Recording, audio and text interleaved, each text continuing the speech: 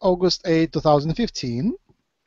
And um, I have with me Guru Gurudan. Hi, Gurudan. Hi, Hello. Sabrina. Hello, Gurudan. Hello, th Sabrina. Thank you for joining. Hey, Tuba Buddha. Hello. Thank you for being with me. Um, all right. Tuba Buddha says that he can see and has no microphone. So Tuba Buddha, you can just type in and others can read your messages, or I can read your messages. All right. Today we have an introductory video, introductory webinar for new people who are new to everything. They are light workers, but they don't know about aliens much. Is it thinkable? No, we are so much immersed into our own group uh, society of light workers. We all talk about Bashar, so everybody knows what aliens are. But here locally in Chicago, Chicago, Chicago, I discovered there, there are light workers, perfect light workers, perfect healers, very educated, you know, absolutely blank about aliens. No whatsoever, no exposure. How is it possible? Uh, I guess bubble realities. They are just living in a different bubble. But when our bubbles merged, when uh, we, when we met, they were interested and they asked to talk about aliens, do the introductions. Unfortunately, I don't see them here joining. I guess they are not that technically equipped. They like to walk and uh, ride uh, metro elevated way, elevated CTA metro here, and you know, do things in person. They're not as uh, wired up as we are. But I, I will send them the recording and they will watch later. So hey guys in Chicago and girls and light workers, this is for you on your request. Before we go into the specifics, um, I have a little announcement. Mm. So we have the website, which is humancolony.org, and we have uh, our Google Hangouts, which are on Google Plus. So you will, you know, we are immersed in their Google's way of doing their uh, Google Plus things. So find us there. We are called Human Colony, abbreviated to Hucolo, H-U-L, uh, H-U-C-O-L-O, Hucolo. And uh, it's a unique word, so it's easy to find us. Join us there, and you will get the announcements and invitations. And we also have daily ongoing webinars and hangouts, video hangouts in this format. So some of them are broadcasted, and many more of them are more or less private, and they're not broadcasted, not recorded. People just hang together. So in addition, and it's all wonderful, but I was just thinking that there is no edited, edited, uh, structured, prettified pages or things. Like there are books which are long, there are individual posts here and there, but it always kind of drowning in the flow, drowning in the flow. So newsletter has its own quality that we can format it, edit it, make it mm, authored authored, authored, censored, authored, picked up best things. So how about we just start doing our newsletter? And luckily there are people who join me in this endeavor already. And thank you, Safira, for contributing your materials, and thank you others for volunteering to work together. So I'm thinking about doing a newsletter once a month, more or less, and each of the newsletters will be led, authored, censored, edited by a volunteer. So first one I volunteer to do, and then when the system is set up, when the structure is set up, I would invite others to step forward and drive their next newsletter. So it will be one newsletter will be very different from from another. The structure might be the same, but the tastes might be very different.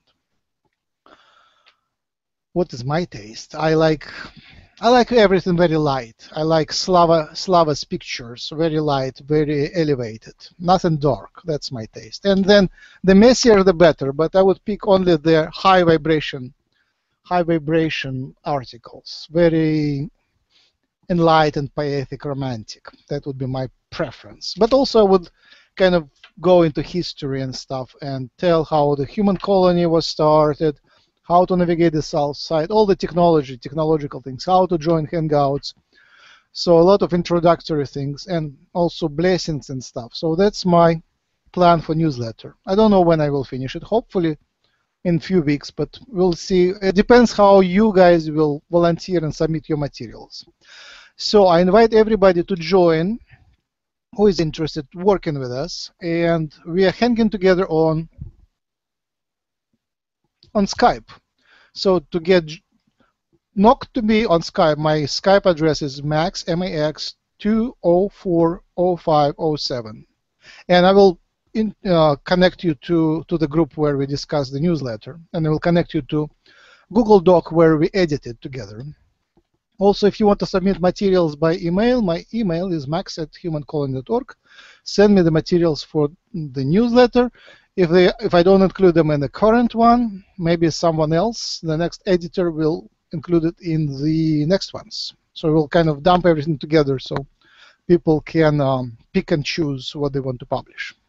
And we want to update people on the galactic news. So that would be a galactic news newsletter. Whatever happens in the past month or so, the news on from the colonies and stuff.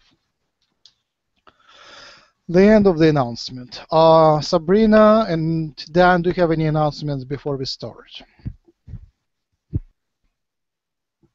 No, I don't believe so. All right. And I, I apologize. I think I'm overlapping with somebody else's webinar. Uh, so, if do you know which webinar is going in parallel? Do you know? Um, Something was announced. So if I will check. yeah, that's Yeah, actually, that that's um, that brings me to that point. Um, Yeah. That maybe please check, make sure that others others time, you know, when you when you plan to do a webinar, so they don't overlap. yeah. I'm sorry. I No, no, no. I just picked the, the yeah. I picked the time which was you know I had an open and I didn't want to split the Saturday in the in the middle and the morning was already taken. So it was kind of the only choice I had. I apologize for that. But you know it's nice so everybody else can watch the other webinar. yeah. All right. Um, yes, diamond crystal, crystalline heart. Yeah, we send them blessings, and we are part of one crystal. We are one. And with that, we start. Um, so, light workers and aliens, and also I was asked to to mention the DNA. So, invite any discussion and questions. Uh, where do we start? We will, we will start from say what how I usually start with people who are enlightened but you know are not into aliens at all. Um, I start from, I guess, a little bit of my story, how I came to that. Uh, for me, it was a logical choice. I was researching the healing arts, healing arts, and bio- biology and therapy with light. And this uh, interest brought me to the book of Lynn McTaggart. I wish I could type here. I guess I could. It's uh, it will be slow. All right, Lynn McTaggart. Um, it's called The Field. If you just type it in Google, Amazon, The Field, you will you will find it. Yeah, and um, this book was ground shaking for me as a scientist because it was it brought to one place many very uh, borderline fringe scientific discoveries which demonstrate that our reality is essentially a matrix which is sort of shaken and sometimes it kind of gives in to magic. So where the science can kind of put its hand on, on research can put its hand on on magic and things which are non-material like like the fields and stuff, like quantum effects and stuff. Something which is closer to science fiction than the you know traditional material reality, 3D reality. And when I finished that book, uh, which which is really good, um, just next thing was like next few minutes I was thinking, if that is possible, if the reality is not as real as it seems, how about I check about aliens. It was kind of very logical conclusion. Before that, it was not very practical, but after you just think that reality is not very real, then hmm, let's research the aliens. And I'm very good in researching new topics. My best way of doing that is to Google first and then go on YouTube and search YouTube and basically surf, surf like a surfer, surf YouTube. Um, and that's what I highly recommend you. Like if you want to just check it out, how do you check it out? You just start start surfing and pick the videos which have a lot of likes and which uh, feel good, which feel good to you on the topic. On the topic. So if you search aliens, just you know, click on one, scroll to the middle. Usually, I scroll somewhere two th uh, one third into the video, or and then two thirds in the video. I kind of scroll back and forth until I kind of sample it and if I like what I see, I stay there. If I don't like, in a few seconds, I, I, I skim, uh, go to the next one. I go to the next one within the area. Within, and if I find something good, I watch it usually from the middle to the end. If it's really good, I watch from the beginning to the middle, and I watch everything which is linked to this video. So it's you know, if you found a found gold, don't go away. Research things around. Research things connected. Like for me, it was uh, very important to listen to Project Camelot. Camelot. Project Camelot. It's another keyword which is amazing. Some of their videos are really, really good. Mm.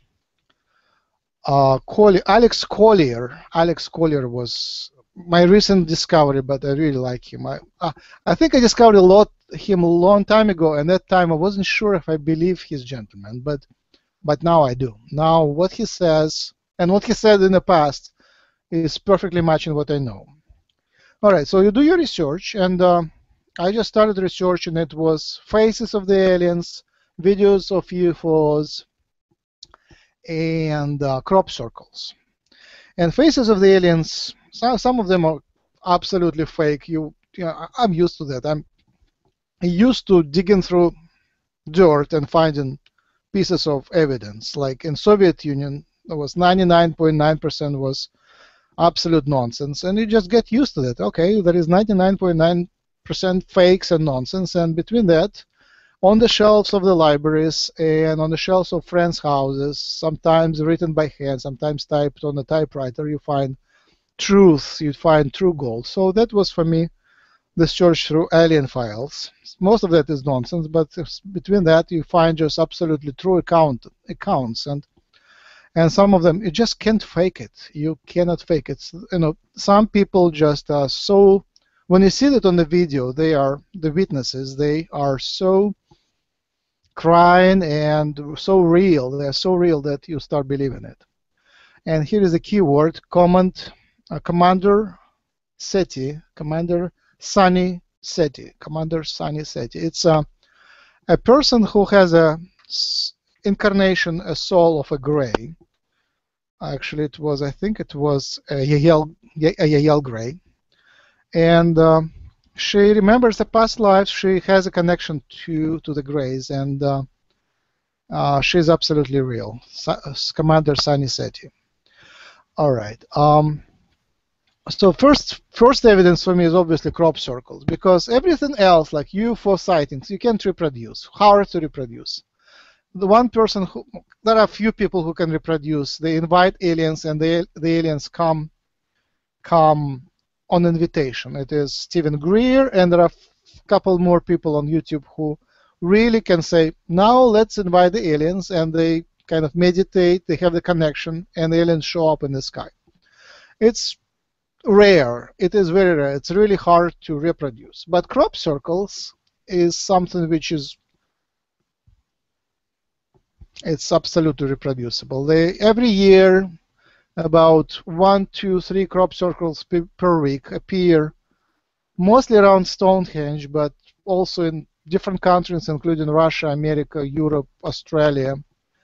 Uh, most of them are on the crops. Uh, some of them are on the snow. Some of them are on lakes, um, and um, and some of them are huge and there is a whole community that watches them, especially in uh, in England, uh, around the area of Stonehenge. They have the system of announcements, so whenever the crop circle is noticed, many people, like hundreds of people, drive there and check it out. And uh, when you start researching them, you, you look at the videos, they explain how you tell apart human-made crop circle and real crop circle. And there are, you know, there is one video how it was made. I'm, I'm sure they're made in different ways. There are magic ways of making them, but one video shows orbs making the crop circle, and it's beautiful, and it looks very believable. I, I think that's how it, it, it is formed. In, in many cases, it is something transdimensional, and it, it has its own magic. All right, and then I uh, I did a lot of research, read a lot, a lot of books, I read a lot of accounts, watched tons of videos. Obviously, Bashar was key for me. Bashar is check out Bashar on YouTube if you haven't before. Bashar is our favorite teacher. Uh, it is an alien consciousness uh, which channels, speaks through a medium. A lot of information about the aliens come through channelers, and these are basically mediums, trance channelers, mediums which get into trance, and invite an alien consciousness um, to visit. Uh, and that alien consciousness comes through, comes into the body, and speaks using person's voice and person's actually mind to communicate. And Bashar is great. It's um, oh, he's exceptional speaker, exceptional. I don't know anyone who speaks as well, who is as good public speaker as Bashar. Um, and sometimes, you know, when you hear channelings, you just it's so alien, so foreign. You just realize it is it is it is real. It is in in most cases, it is real. In most cases, it is real. Uh, the ones which are not as good sometimes is when uh, there is too much of the person left over and too little of the outside consciousness comes in. So the channel channeling becomes polluted. It's a mix of it's like poor connection to outside, and it's more of the ego, ego coming out. But but even those channeling sometimes you know sometimes it's worse and sometimes it's bad. Almost no one fakes it. Almost no one fakes it. All right. Uh, so then the, the, the, usual question, which you know every normal person would ask, uh, normal person would ask, is, if the aliens are here, why don't they show up? Why don't they just come and you know show up around White House or show up to me? They say, until I see it in person, I don't believe. Um, so there are you know tons of answers to that, but basically the main answer is that the aliens which are around here on Earth, they are absolute majority of them are not from this world. They are not from this dimension. They are magic. They are from the other dimension. They're just basically from a different world. In their world, they are more or less physical, but in our world, they appear only as shadows usually, as spiritual projections, as ghosts, as holograms. It takes uh, technological effort for them to to appear, for the saucers to appear. So they're not really from here, and, and that's why most of the people don't see them. But uh, but they are watching, and they are present and they are influencing the, the events here, influencing the politics, the weather, the uh, seismic activities and stuff of that sort. The next questions people ask very often. The next second question is, you know, what's their agenda? What do they really want? And what they do they really want is no. There is a simple question and there is more complex question, and the more complex is mi mind blowing. But the simple answer, okay, answer. Simple answer is they want to help. Many of them are very good, nice, and they see that we are close to suicide, as a civilization, and they want to help us to go through their transformation without without killing ourselves. That's a simple answer, and it's very true. Uh, now, the second thing they the people ask is why don't they just show up and uh, and be done with that? Then we'll start communicating. And the obvious answer is first, our military don't don't really want the aliens to become known because if humans realize that the aliens are here and the aliens have super strong technologies, super powerful, then why would anybody fund the military budgets for developing outdated weaponry, right? Uh, that's very practical. I mean, if, if there is no aliens, then they, you know, anybody can pretend that their weapons are practically absolutely needed for defense. But if the aliens are around, especially the peaceful ones who can uh, manipulate things from distance, then all our weapons make make much less sense. And in, from other also from other perspectives, they make make very little sense. And the second answer why they don't show, show, up is because you know everybody knows that our eco economy is shaky, very shaky, and it it is predicted by our futurists, politicians, and by the aliens that if they show up just like that, it will cause uh, a lot of emotions in human society, a lot of religious beliefs would be shaken, and uh, that would cause economic crisis, which would possibly, very likely, cause the complete collapse of economy. And complete complete collapse of economy will cause a lot of suffering, especially in um, big cities, especially in big cities. If economy collapses, you know, I lived through through a collapse of Soviet economy in Moscow, and uh, we was that close, that very close to to complete disaster.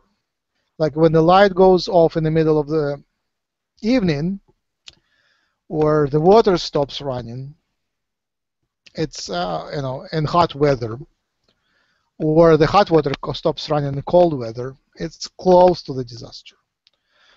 All right, um, so the aliens are waiting and waiting, and the more third answer why they don't show up is that uh, our choice is actually respected. So if humans collectively don't want them to show up, and if humans collectively don't um, invite them to come, then they don't.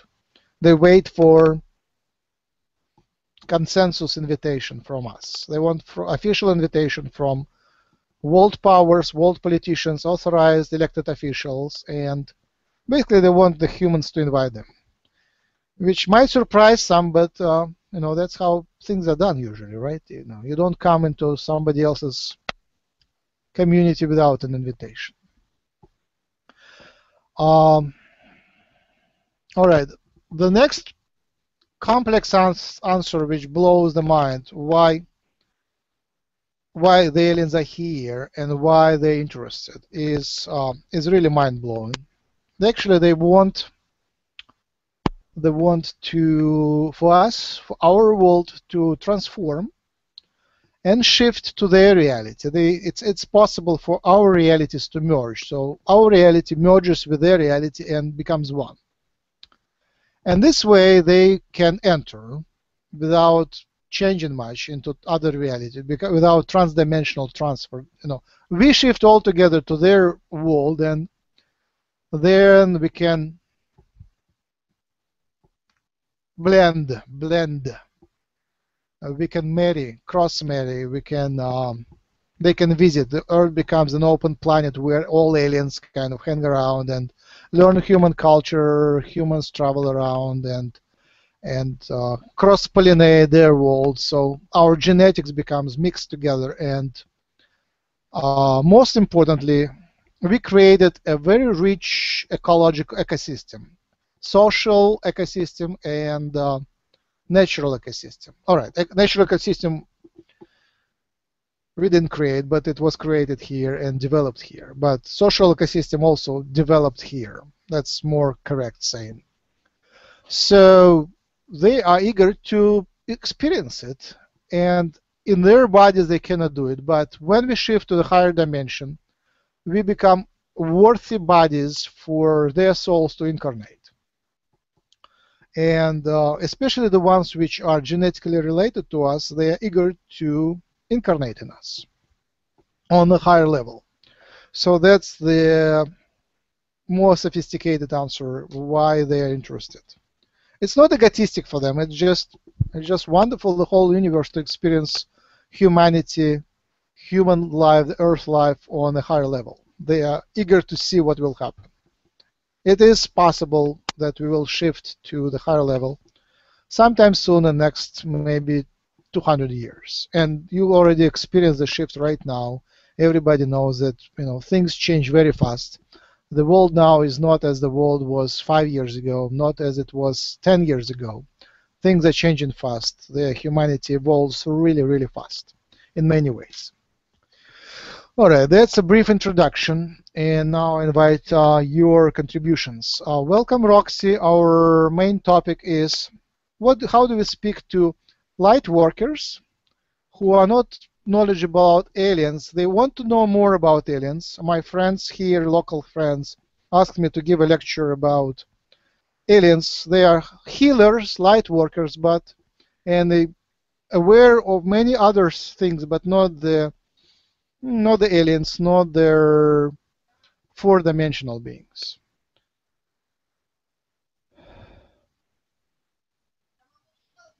Anybody here?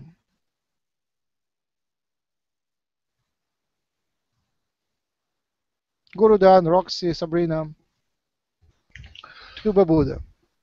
I um, I haven't had that conversation with any light workers. I haven't uh, had opportunity to uh, approach that topic with anybody yet. Uh-huh. So I um, I'm not sure how I would even approach that. I guess it would depend on their openness to the topic to begin with, and go from there. All right.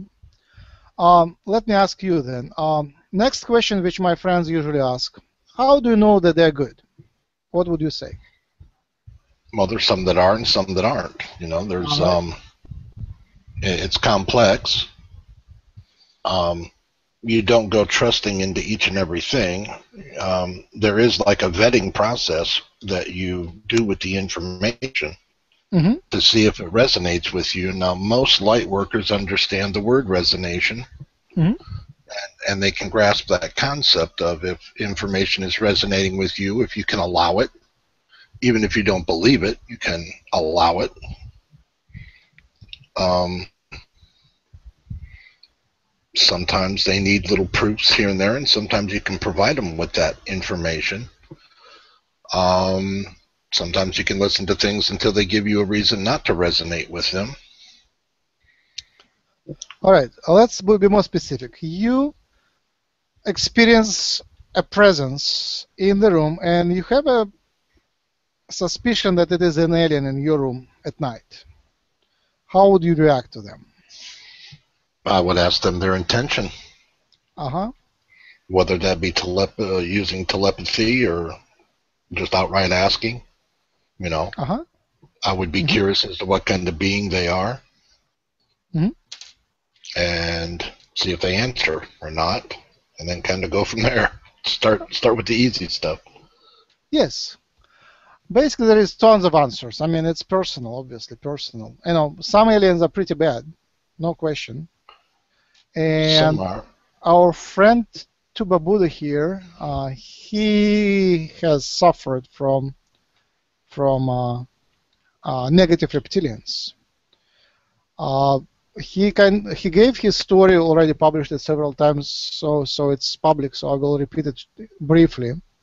But basically, at some point, the reptilians came to him and somehow tricked him into agreeing to to agree. He didn't real, realize what he agrees to, but basically, in their interpretation, he agreed that they would uh, make a hybrid child from him and take this hybrid child to captivity in their world.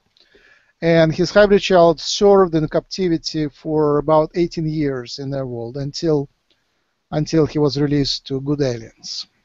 So that was a personal tra- tragedy for uh, for Tuba Buddha, and uh, you know we played a little part here, just learning his history and and uh, applying or how do you say petitioning the bad guys to to release the child. Um, obviously, it was a trauma for the child as well. Um, now, understand, now speaking to our listeners, understand that there is a law of attraction. It is like a radio.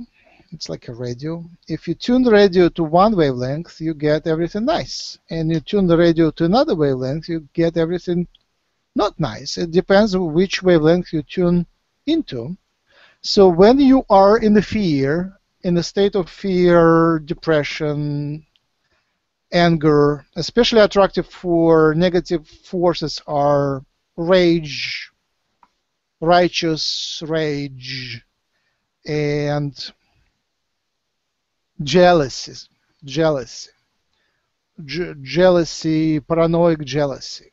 Those attract really negative energies, really negative. You invite when you're in a rage or other anger state, which for many humans it's it's you know commonplace, being angry. Uh, that attracts a lot of negative magic and negative entities. They enter through these portals when you are you opening them.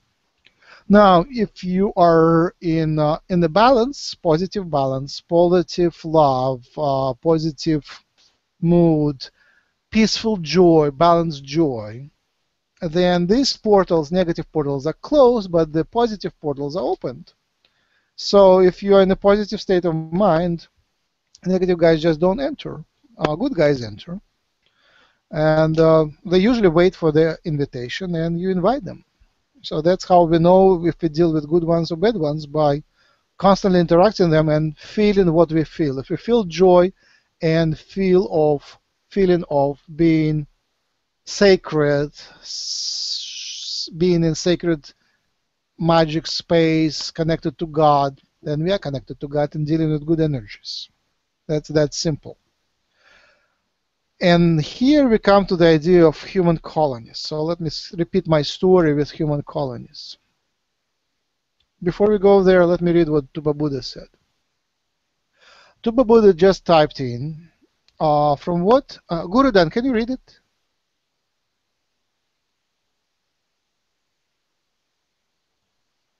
Anybody can can you read it? Just my English uh, is not so. Yeah, yeah, give me give me a moment here. I was on uh, I'm juggling my microphone here. All right. Uh, he he comments um, from what he has learned, the good ones you have given permission to participate with them prior to incarnating here.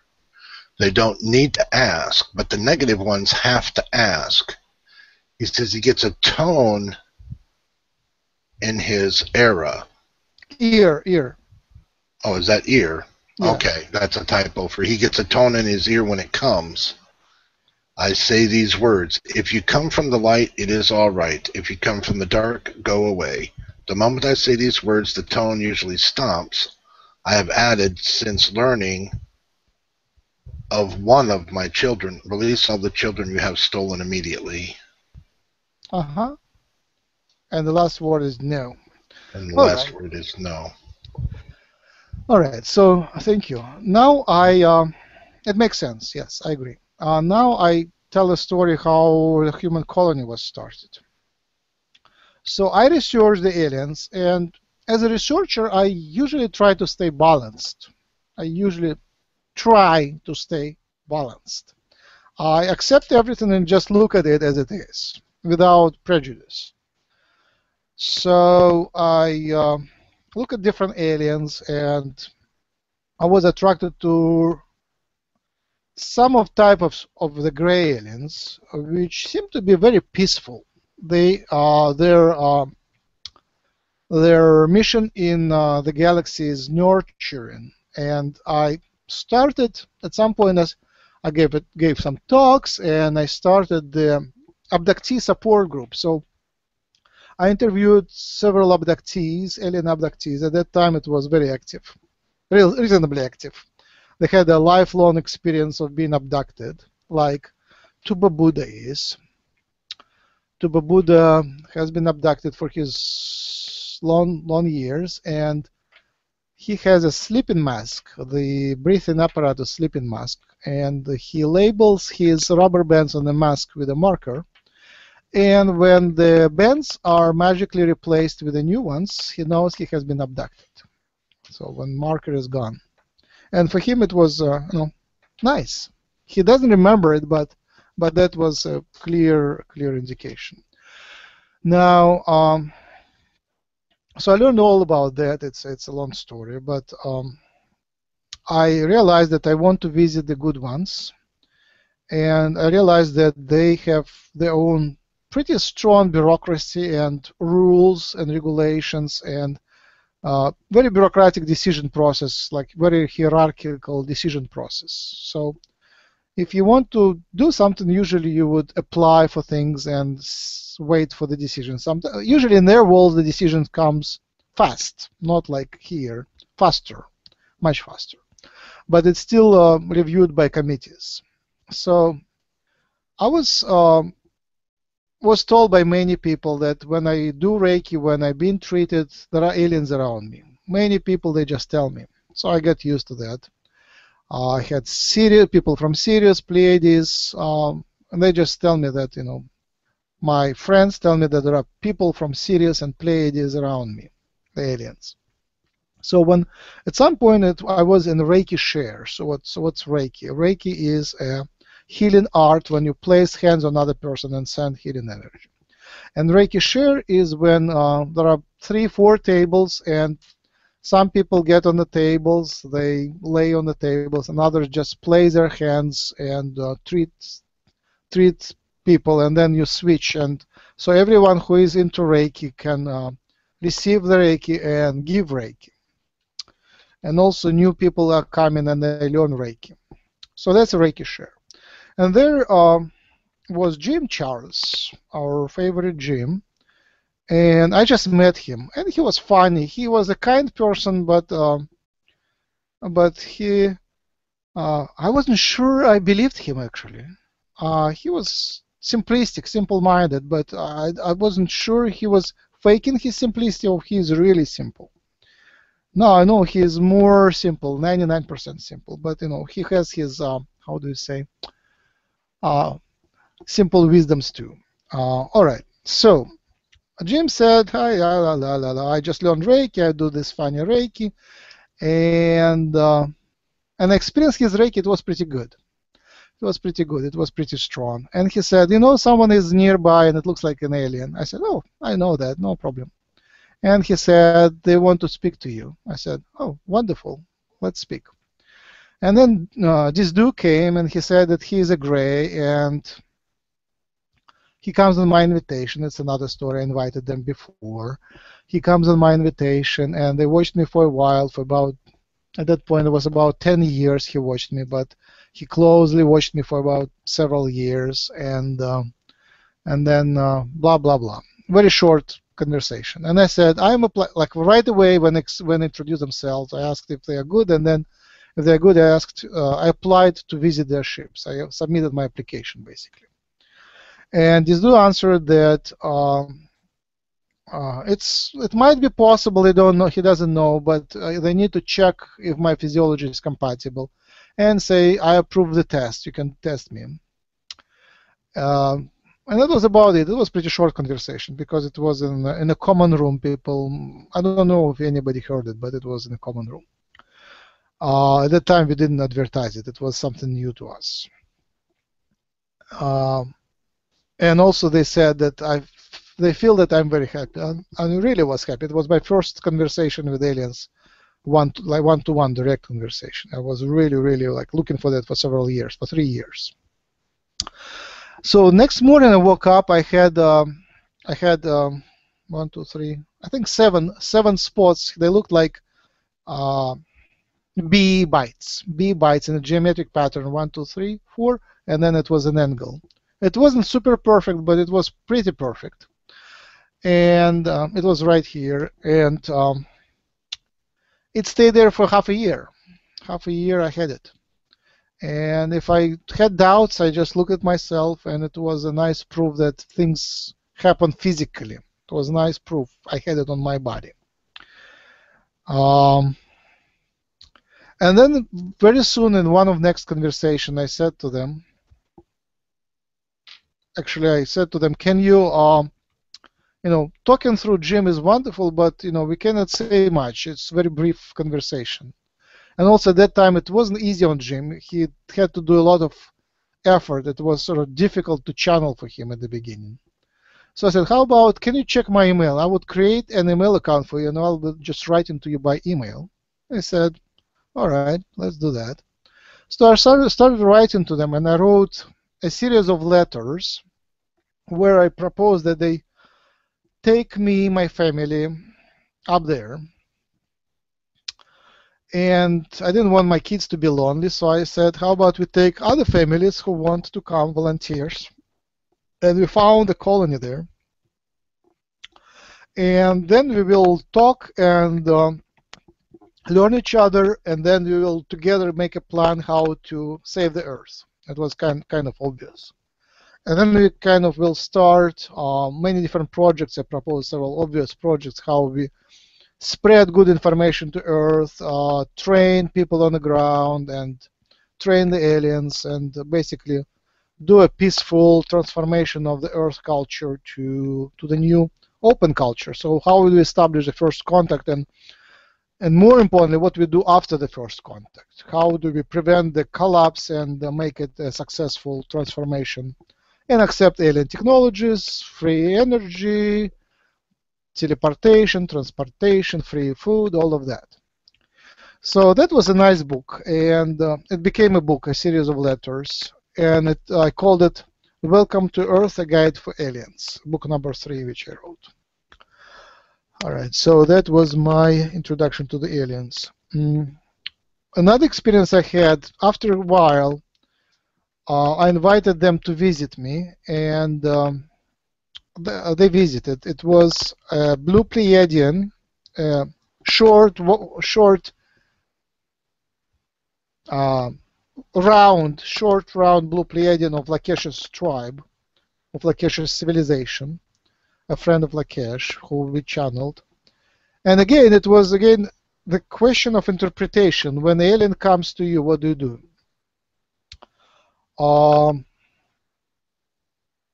it was a nightmare, uh, very strong one. Uh, all my life I had this kind of nightmares when everything is so big and I'm so small. I'm squished between the planets, and uh, there is some sort of catastrophe or similar to catastrophe thing, and that um, uh, how do you call it? The distortion of time and space, where I'm small and everything is so big, and I don't, I'm so powerless, was always a nightmare. So that nightmare didn't come to me for a while, and when it came, I was scared first. I just remembered my childhood nightmares.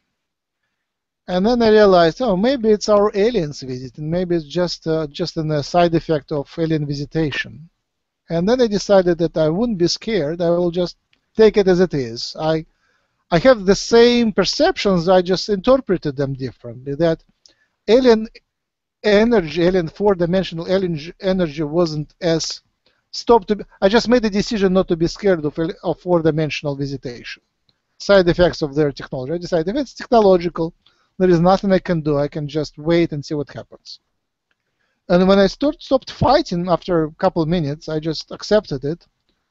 I was completely awakened in, at night, and um, that second body entered my body, and I felt I'm present in two bodies at the same time. One, my body, and another body. Very, very real. Was very short, and I had fat hands, like, like, like really fat hands. Very short fingers, and I can move.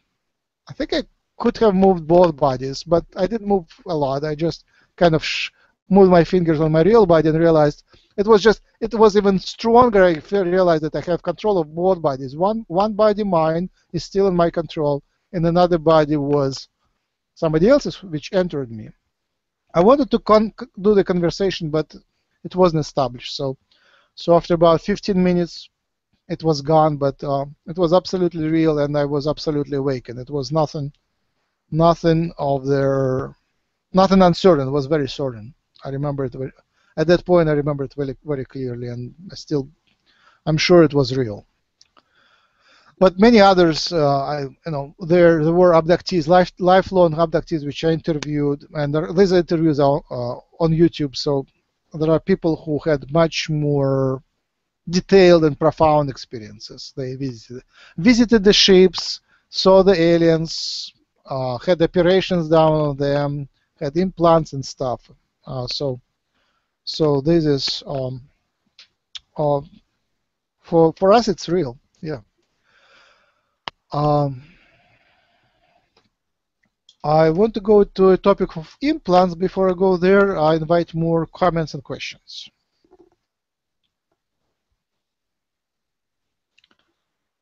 Roxy, Grudan, Amy, do you want to talk about anything? No, I'm, I'm good with everything you've been talking about there, Max. All right, thank you. All right, so implants.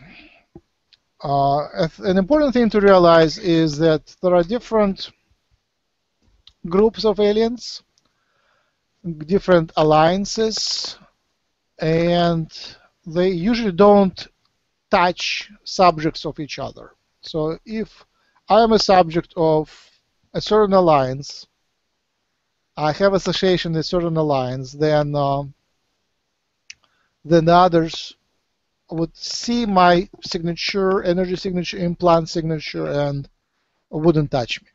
That's basically how things are usually in uh, this period of time. They kind of respect the subjects of each other.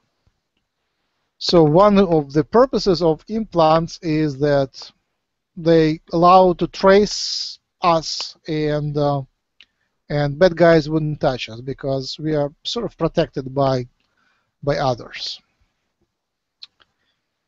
Uh, I don't have any you know very good proof. I don't have e evidence that I have implants, but when I speak to them through channelers uh, from Jim mostly, they tell that I do, tell me where I have them, and uh, and um, when I get new ones, I usually ask them and they explain.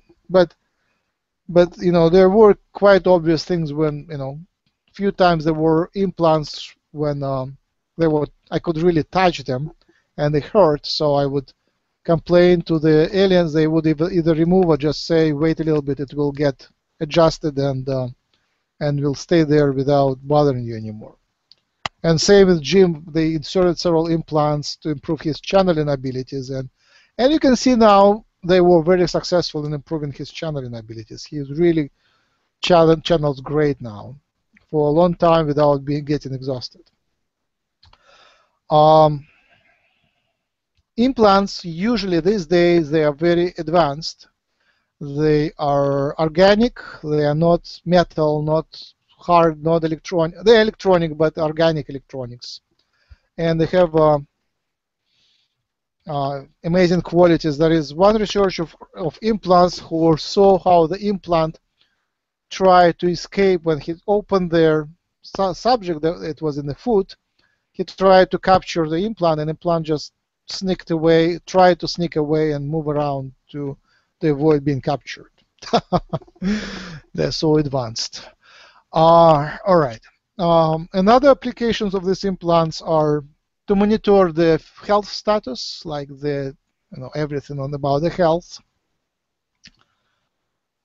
and um, also when they do dimensional transfer when they transfer us to their ships. It uh, helps to to do transdimensional. They use like uh, them as uh, reference points to to better do the transfer. It's like um, beaming up. When they beam up using transporters, they need these reference points to align the the patient better. No, I'm, I'm not sure I have been taken ever. At least I don't have any evidence of that. I don't remember uh, physical physically being taken. All right. Um, other implants, obviously, negative guys and human uh, negative guys use implants for mind control. It's obvious. And the grays, they do different things which we don't know exactly what they are, but they sort of uh, program the their subjects to to take over the planet. So that is also it's kind of a mind control thing. It's also uh, a concern, but we don't we don't deal with negative guys. We don't focus on negative guys. We work with good guys and we focus on positive positive positive things. So we actually invite implants and um, we volunteer to get them. We volunteer to, and they usually ask us, and um, uh, they're nice. Our our guys are nice. We deal with a good um, aliens, uh, alliance of good aliens, and um, they usually don't do things without asking us first and without us volunteering first, right? And uh, it's it's it's it's a state of happiness and uh, you know and, and balance actually. We trust them; they trust us. Um, the human colony. So when I invited, I proposed take us to uh, to a place and establishing a colony. They actually did it. They they sort of created a place which we are visiting, and it is a human colony. Obviously, it's not a real colony. It's not us colonizing the, the space. It's more like um, a playground for uh, for humans, human volunteers to mingle with with aliens. Um, initially, they were saying that they're taking us physically, but after a while, they, they said that they're taking us as spiritual projections. So we are not physically away from our locations, and we don't really remember a lot about our visits, which I accept. Uh, I will explain later why why this change of the story is not as concerned as concerning as it was as it could be. Um, or maybe explain it now. Basically, it looks like our, our reality and all the reality which is connected to the aliens is not fully real in terms of human reality.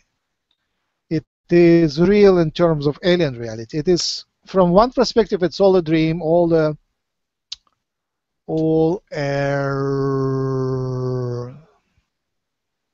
yeah, um, more like legend, confabulation. But from other perspective, it's very real. And it is a whole story what is real and what is not in this world. But basically, we can we normally are in many different states. We shift between different vibration, different states. During the day, we are in one state, and we are very grounded. We are very connected to physical world, but at night we are shifting to a dream world and everything is absolutely different. We don't we can't even translate our dreams into human language because they're so different, so it's a different dimension. They are not very translatable to human language. Most of the things that happen in the dreams are multidimensional, so that maybe is one of explanations. One, when we remember dreams, are they are black and white, or in my case, it would be more like light orange and black color, light orange black color. They are uh, less dimensional because when the, the, story happening in a dream is translated to human language, it collapses into a lower dimensional state. So we lose a lot of information. And also when you are in highly spiritual state, when you go in highly spiritual spiritual place, highly, highly spiritual uh, congregation, you shift to another reality. So when you when we are together, when the light workers are together and are in high and high spirits, we are much closer to aliens, and the reality, the stories of aliens become much more real. So when we are in a dreamy state, we are closer to the to their reality. And when we shift back to 3D to material things, it becomes less real.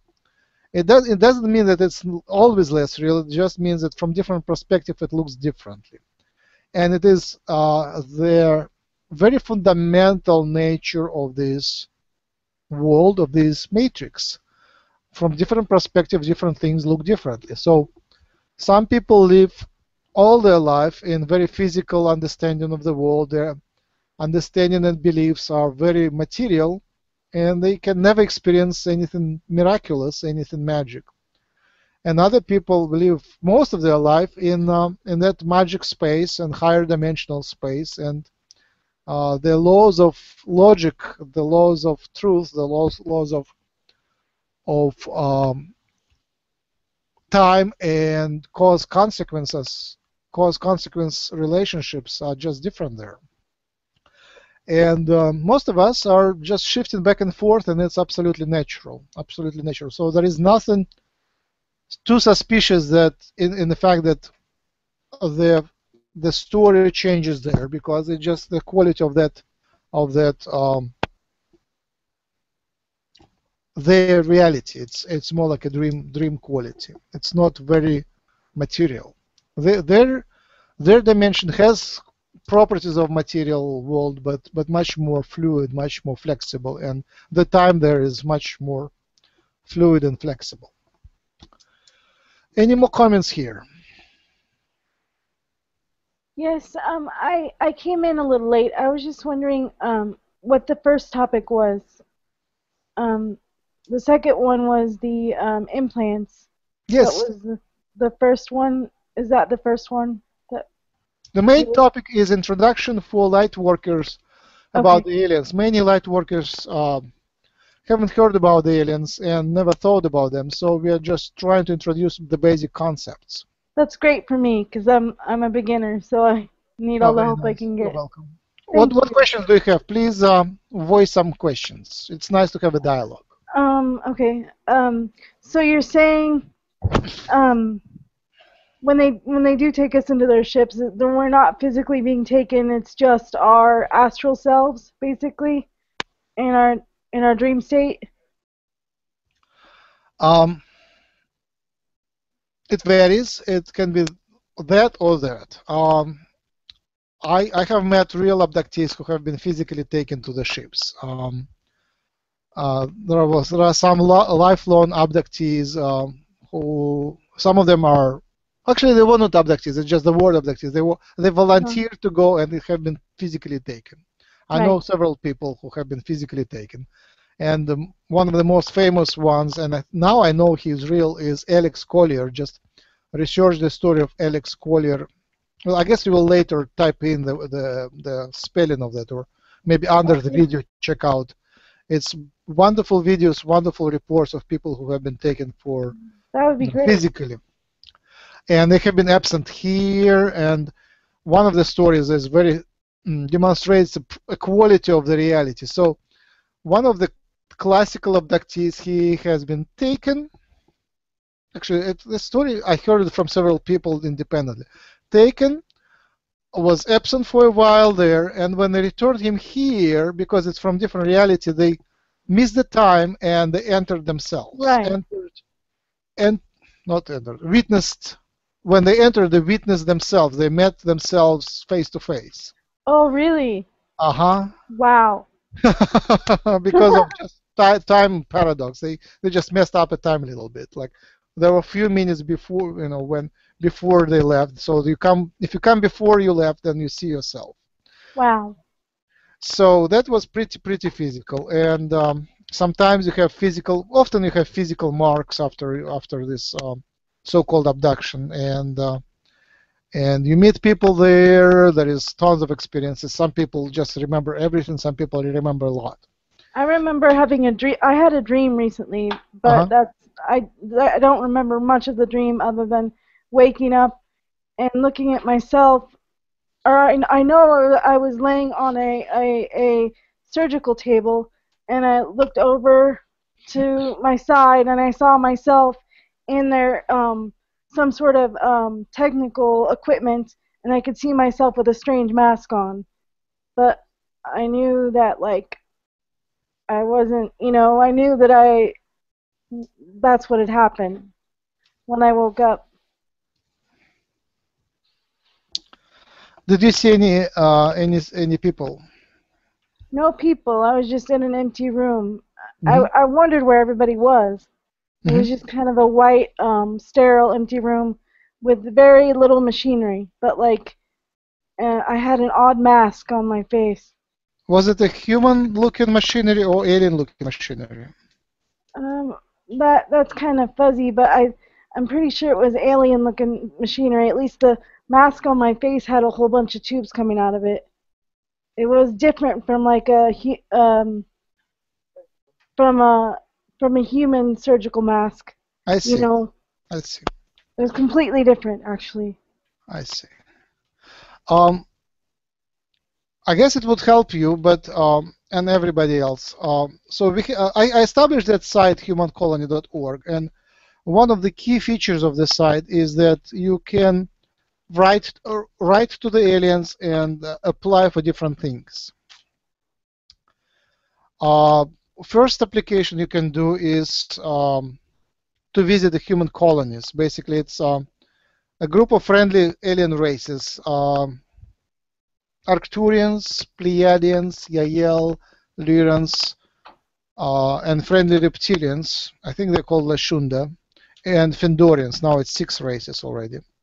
Uh, they're nice. They have that human colonies where they treat people very nicely, and um, and people work on developing the contact, developing the tele telepathic abilities, uh, communicating with hybrid children, communicating with the aliens, um, planning the first contact, making the videos about the the aliens, and preparing to broadcast these videos to the humanity, and many other things. Right. And developing the healing abilities, working on um, healthy things. So these visits are spiritual. At the moment, they are not physical yet. I remember um, that I wasn't scared because I mean it was just after I signed up. Um, I signed up for all of them, to you know, for whatever experiences they wanted to give me that they thought would be beneficial, and I I know from my channeling that I was on Colony Two, so Perfect. So yes, and that's one of the best. One of the best. We have several best evidences that it's real. That people after they sign up, they get experiences. They get visited, become visited, and some of them have very profound experiences of uh, visitations and interviews with aliens. And sometimes they don't realize that it is an interview because it's so friendly and so chatty. But uh, but these are actually interviews. People, the aliens come, usually Pleiadians or Yahyel, and in in spirit or in holographic projection, they come at night and um, and chat together, and they have fun. And then they decide how, how to assign this person, what what this person can, which project the person can do, and so on. right. I would like to know actually more of my dreams so I knew who, you know, or what I was with because all I remember again is just being on the table. Um, I guess ask Jim. okay. Uh, if anybody can pass this question to Jim, uh, usually we have the answer. I, I, will write to him and we'll. So your name is uh, Amy, right? Yes, Amy. Yeah. If you, Amy, just just email to me a, a short question and I will forward to Jim and we'll see what he answers. Okay. Thank you so much. the- yes.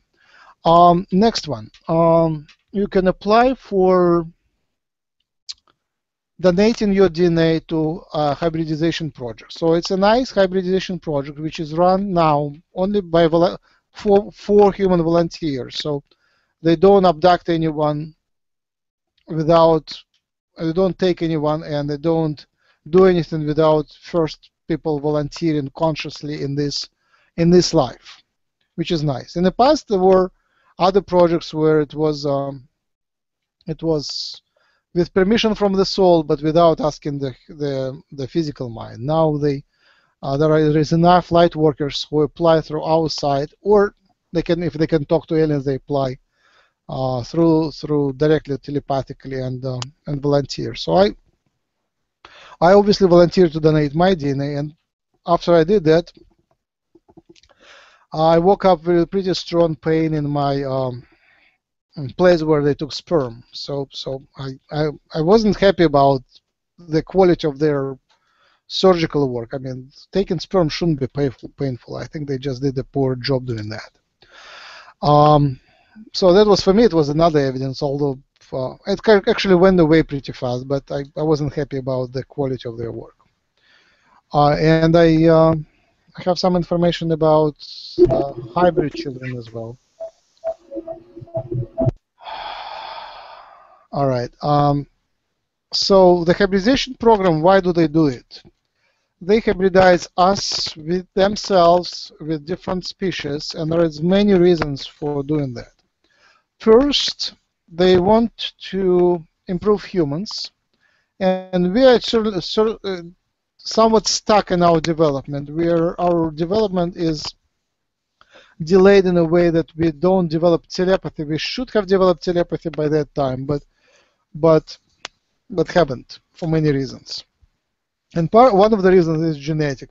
Genetic. We we could be genetically more telepathic, but um, our genetics has been uh, altered in some ways, and it's not as clean as it should be. Not as uh, the, the, basically telepathic properties were kind of diminished. We can be telepathic, but they were diminished through certain certain things, certain um, developments. So when we when they inject uh, hybridize us with the telepathic uh, races like Yahyel, Lyrans, Arcturians, uh, Siri, uh, uh, ones from Sirius, then uh, we become more telepathic. And um, and some of these hybrid, hybrids are walking among humans, and so many of them are part of our community. So we are hybrids. And not only we are hybrids, everybody is a hybrid. Uh, the aliens have been here in the past, and uh, modern humans are hybrids between earthly ancestors, earthly hominids, and alien alien ancestors. We all carry the genes of those races of Arcturians, reptilians, Arcturians, reptilians. I didn't. Somebody put it. Hey guys, somebody put that word reptilians in my in my. I didn't mean that to say, but yes, reptilians too. Arcturians, reptilians, Pleiadians, Yahyel, mm, Lyrans. Fin- I'm not sure about Fendorians. Yeah, Fendorians too, and uh, Elohim and others. Uh, historically, and that continued for all the centuries, and uh, some of the infusions were pretty recent. Some of these were artificial. Basically, they just came and infused some DNA, and uh, when they took the DNA from two parents and added some alien and uh, put back into the into the mother, and then the mother carries a hybrid child. Uh, I actually met a, a child which had um, pure Pleiadian father, so he was half Pleiadian.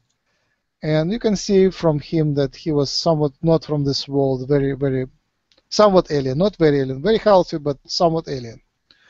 So, and uh, some of the people just, you know, some of their aliens just fall in love with humans and marry them and stay here on Earth.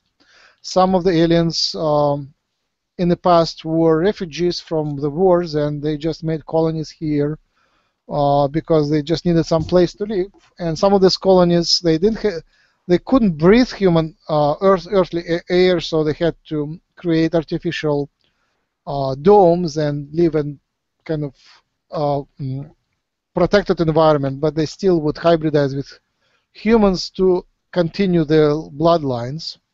And these colonies eventually give birth to different human races. So different human races are combinations of different alien genes with different earthly ancestors.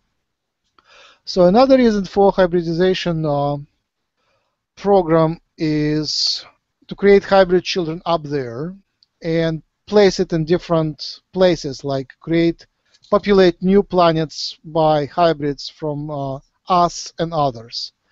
And this creates different hybrid races related to, to us, and we are just one of several hybrid races, and and um, there is a strong artificial crossbreeding between different um, different uh, genetic designs. Okay, and one of these hybrid races is Yahyel hybrid race, and another hybrid race is Sasani or Shakani, the people of Bashar.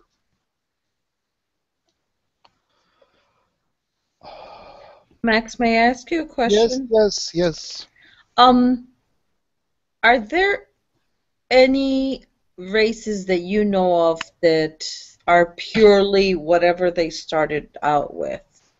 Or is everybody pretty much like hybridized in some kind of way?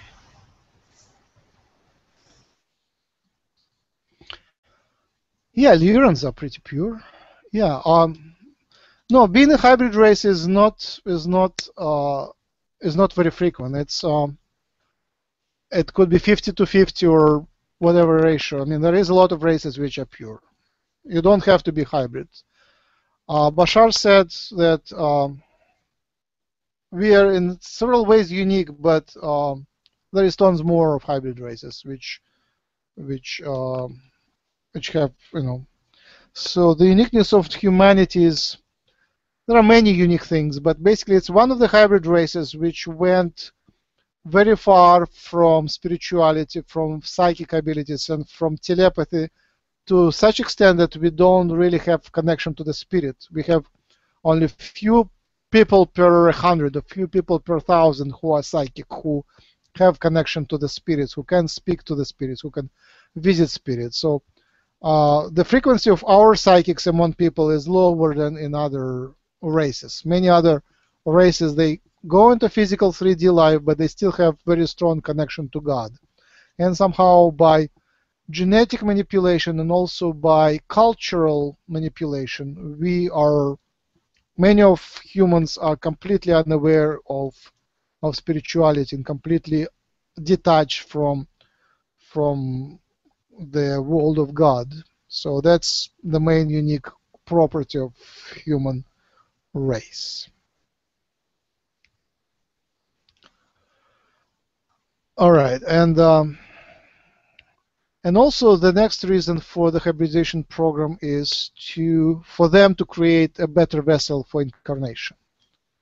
A better vessel for incarnation. Right now, our vessels they're okay for this time, for this place in evolution, but but to evolve further, it would help if we were a bit more advanced, if we had more telepathy, more of uh, psychic abilities. Um, better connection.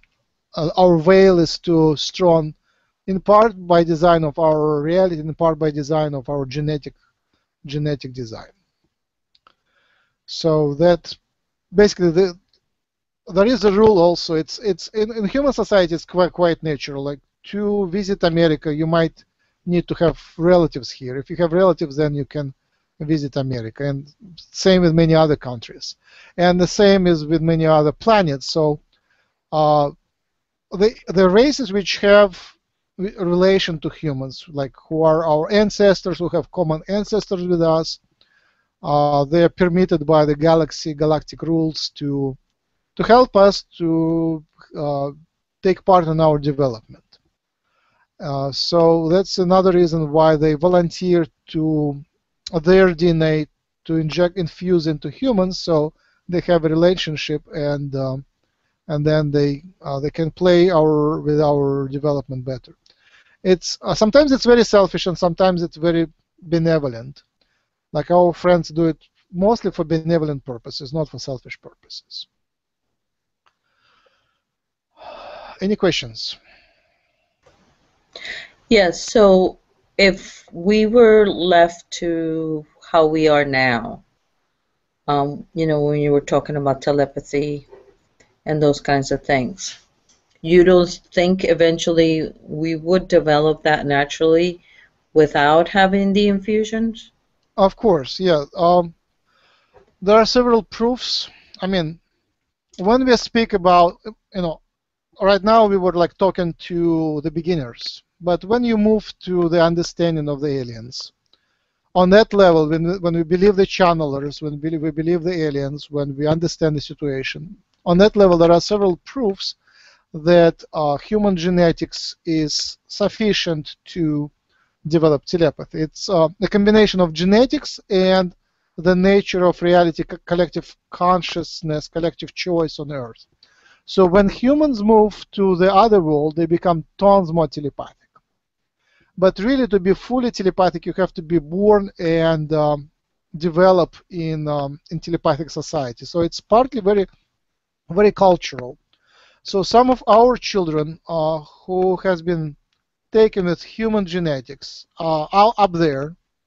They, as if they grow up on their planets, uh, they they're fully telepathic. And also, um, there are humans from the Jesus time, from uh, around the first century AC. Is it AC? AD, first century AD, uh, who have been um, taken as slaves to other planets. It was at that time. It was, you know, they were in in a state where they need slaves. Um, later, uh, and this planet is, I forgot the name. It was through, through Zachariah, Zachariah's channeling. Uh, the, I think the other one. I'm not sure. I'm, I'm blanking on that. But basically, they have been taken to Pleiadian culture planets, and later they were um, given rights and became citizens of these planets. This these also are fully telepathic. So if they just grow in a telepathic environment, they, they are fully telepathic. It's not it's not that we are not capable of telepathy, but if we get boost in genetics, we can be telepathic even in that heavy, dense dimension. In so some some people are at least at least people are psychic in that dimension. So especially new children, new teenagers, they they're much more psychic than they were before, and some of that is due to change in vibration of the whole planet, or some of that is due to hybridization. Some of the some of us are more more alien hybrids than others. How about that? That's a proper formula.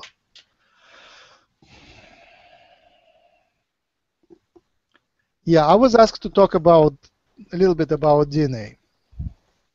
So first myth, again, it's not fully a myth. It's just an angle how you look at it. But first myth is that you can uh, have a multi-stranded DNA in this body, in this physical body. It's just a misunderstanding that uh, uh, that we are talking uh, 12 stranded and multi-stranded uh, more than two strands of DNA it's it's not in this dimension.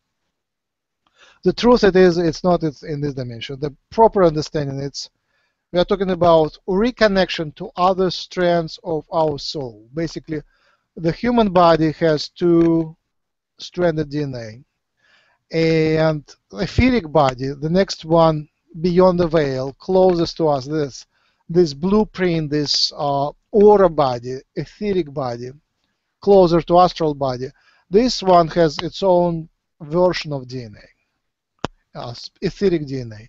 And so on, there are multiple bodies which kind of connect us to the oversoul and finally to God. So there is a complex series of interfaces in different planes of existence.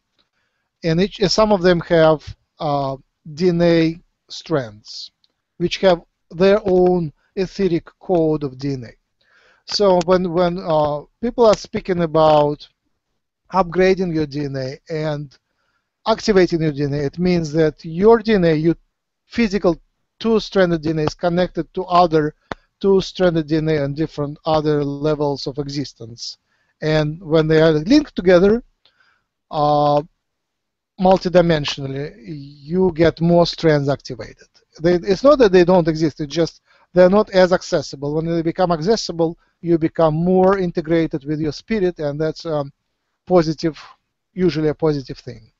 It's yes, it's typically a positive thing, and and that you know you grow into your spirit, and your spirit grows into you, and you become more integrated.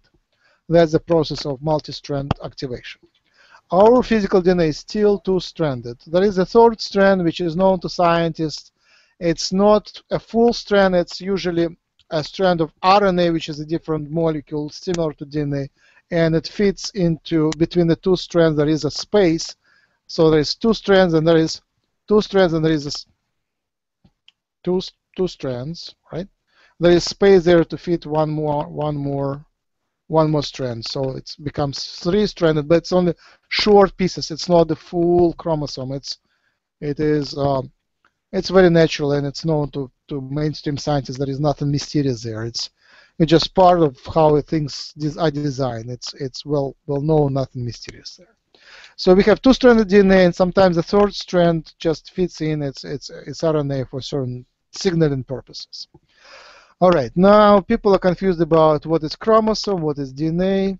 Uh, uh, basically, chromosome is just a chunk of DNA, a big chunk. It's usually about few million,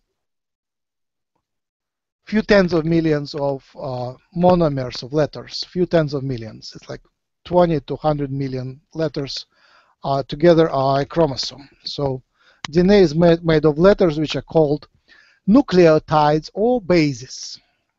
And each uh, the bases are four kinds: A, G, C, and T. There are a few other modifications, but classical ones are for A, G, C, T. So our genome is 3 billion nucleotides. It's a program, 3 billion letters. It's like 3 gigabytes, 3 billion letters. In each cell, uh, there is that code well known to scientists. You can go to to it's called genome browser on internet and just look at your at human code. It's all well known already for about 14 years. It's well well understood, at least on the on the letter of sequence, on, on the level of sequence. So this sequence in each cell, it's yeah, it's mind blowing. But basically, each cell has a program of three gigabytes, pretty big program, and and that program defines our physical properties. It's it's pretty physical, but also the DNA is um, a single-dimensional crystal within this double helix there is uh, so-called stacks of bases, stacks of bases, and the bases are A, G, C, and T uh, in certain order, which you know from the sequence.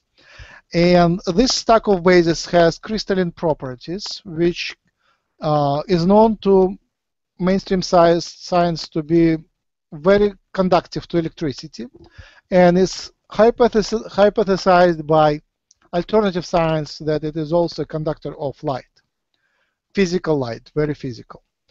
Uh, not proven yet, but quite possible because it is a crystal, and many crystals are transparent. So it's um, it's would be very natural for that to be conductor of light, and also could, that light could be um, pumped, pumped, energized by certain biochemical processes to make a laser. And when you make a laser within the DNA, a laser resonator, uh, it might have uh, transdimensional properties. And it now we're going to more like from science to to sci future science. Uh, that could be a transdimensional communication antenna. So our DNA could be a transdimensional communication antenna to connect us to etheric body. Now, the existence of etheric body is pretty obvious when you start researching it because people who work with energy healing arts can reproducibly diagnose it, feel it. So you use your own DNA, your own consciousness to touch it, and in in this space you can feel the aura. Some people see it with with the eyes or third eye, and Reiki healers can touch it and feel it with energies of their hands. So when you send your own, own energy, you interact with the aura and you can um, feel the structure and function of some abnormalities in, in the etheric body. So as I understand, this etheric body also is pretty sophisticated and it has its own etheric DNA. It's like a real body. It has its own function. So the property of our DNA it's one of the ways how our third dimensional body is connected to higher dimensional uh, bodies and finally to the soul, to our soul, and to God through many, many interfaces and many sophisticated spiritual mechanisms, which are much more multidimensional than we are.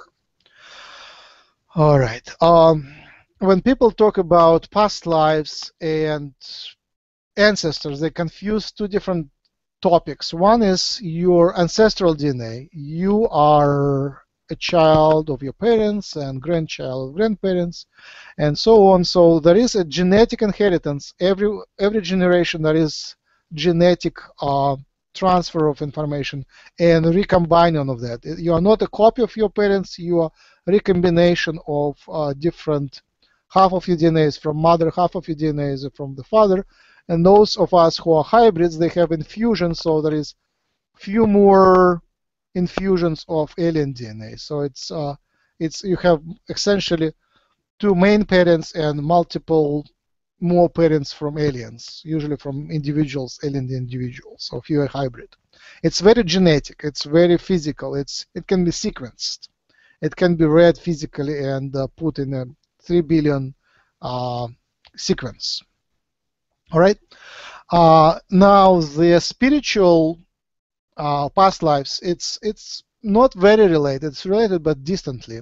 Basically, you have genetic inheritance and you have past lives. So past lives are from your soul, which incarnates into different bodies. Incarnates into different bodies, and it is sequential usually. First incarnation, then the second, then third, and then, then hundreds of incarnations.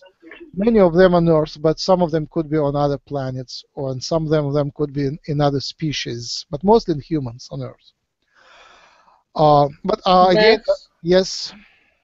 do, does the DNA from your past lives transfer in some of the, the bodies?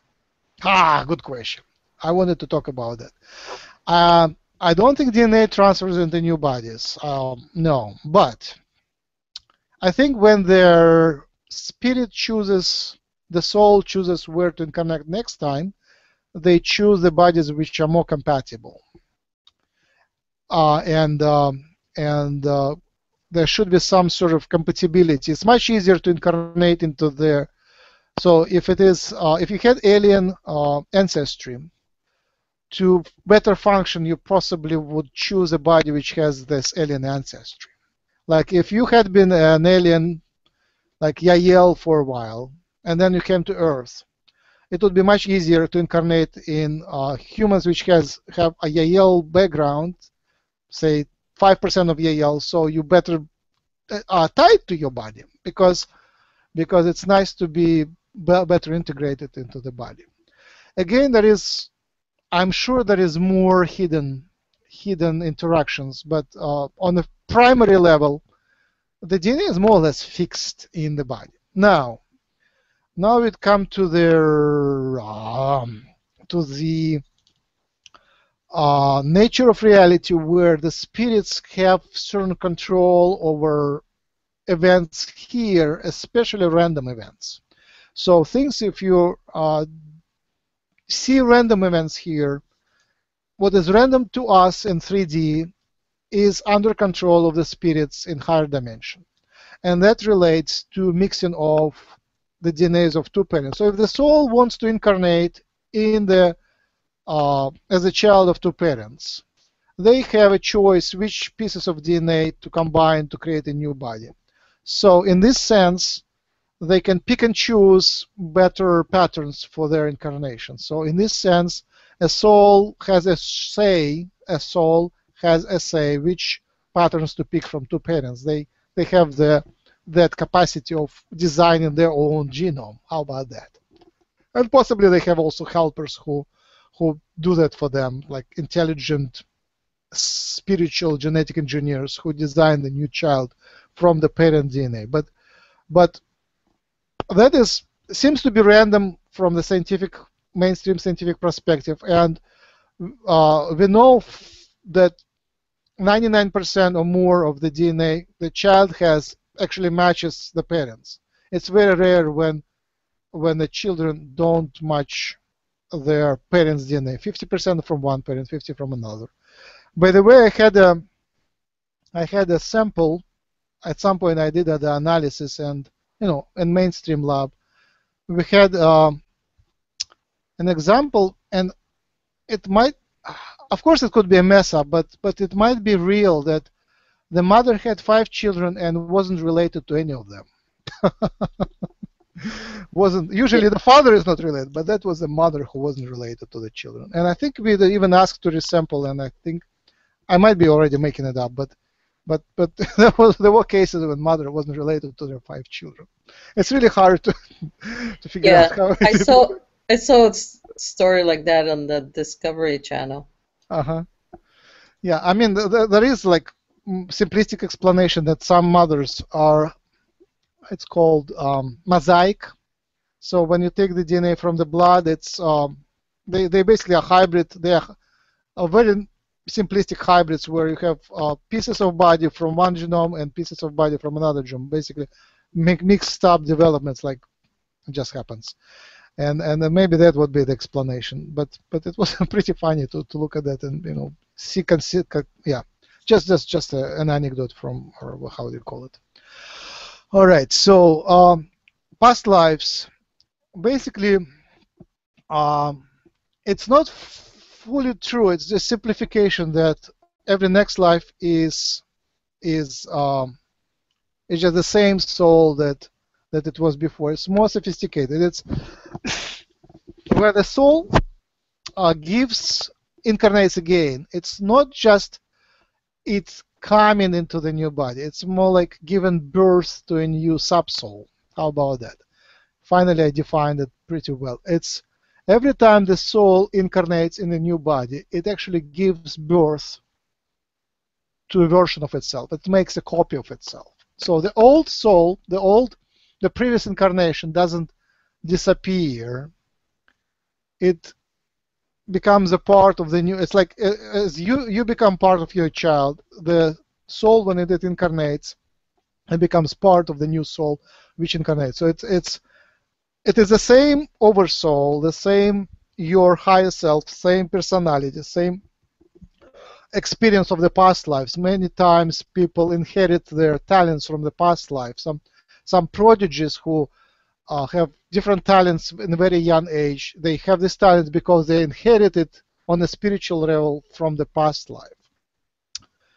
If the soul knows something, the new person knows something, and that is just an illustration that the brain is not exactly a thinking machine. The brain is not exactly a storage for the memory. The brain is reading writing apparatus which reads and writes the information from and to the other dimension, from ethereal dimension. So whatever the soul knows, it it uh, is read and delivered here, and um, and the other way around. And uh, you know we can go into depth of that, but basically the brain is connecting to their higher knowledge all the time. We always are connected to this spirit level mind, which is present. You can see in the eyes of the person if the higher spirit is present or not. Like autistic people or mm, let's do Alzheimer's people, the people who don't remember anything, their soul is not always present. They are just left alone to their physical mind, and that's you know the, the physical mind it has a property of Alzheimer's person, not remember anything and not thinking clearly. It's just a thinking machine without the spirit being present. And then you can see that they come to senses sometimes, and uh, the soul is present, and then you talk to the real person.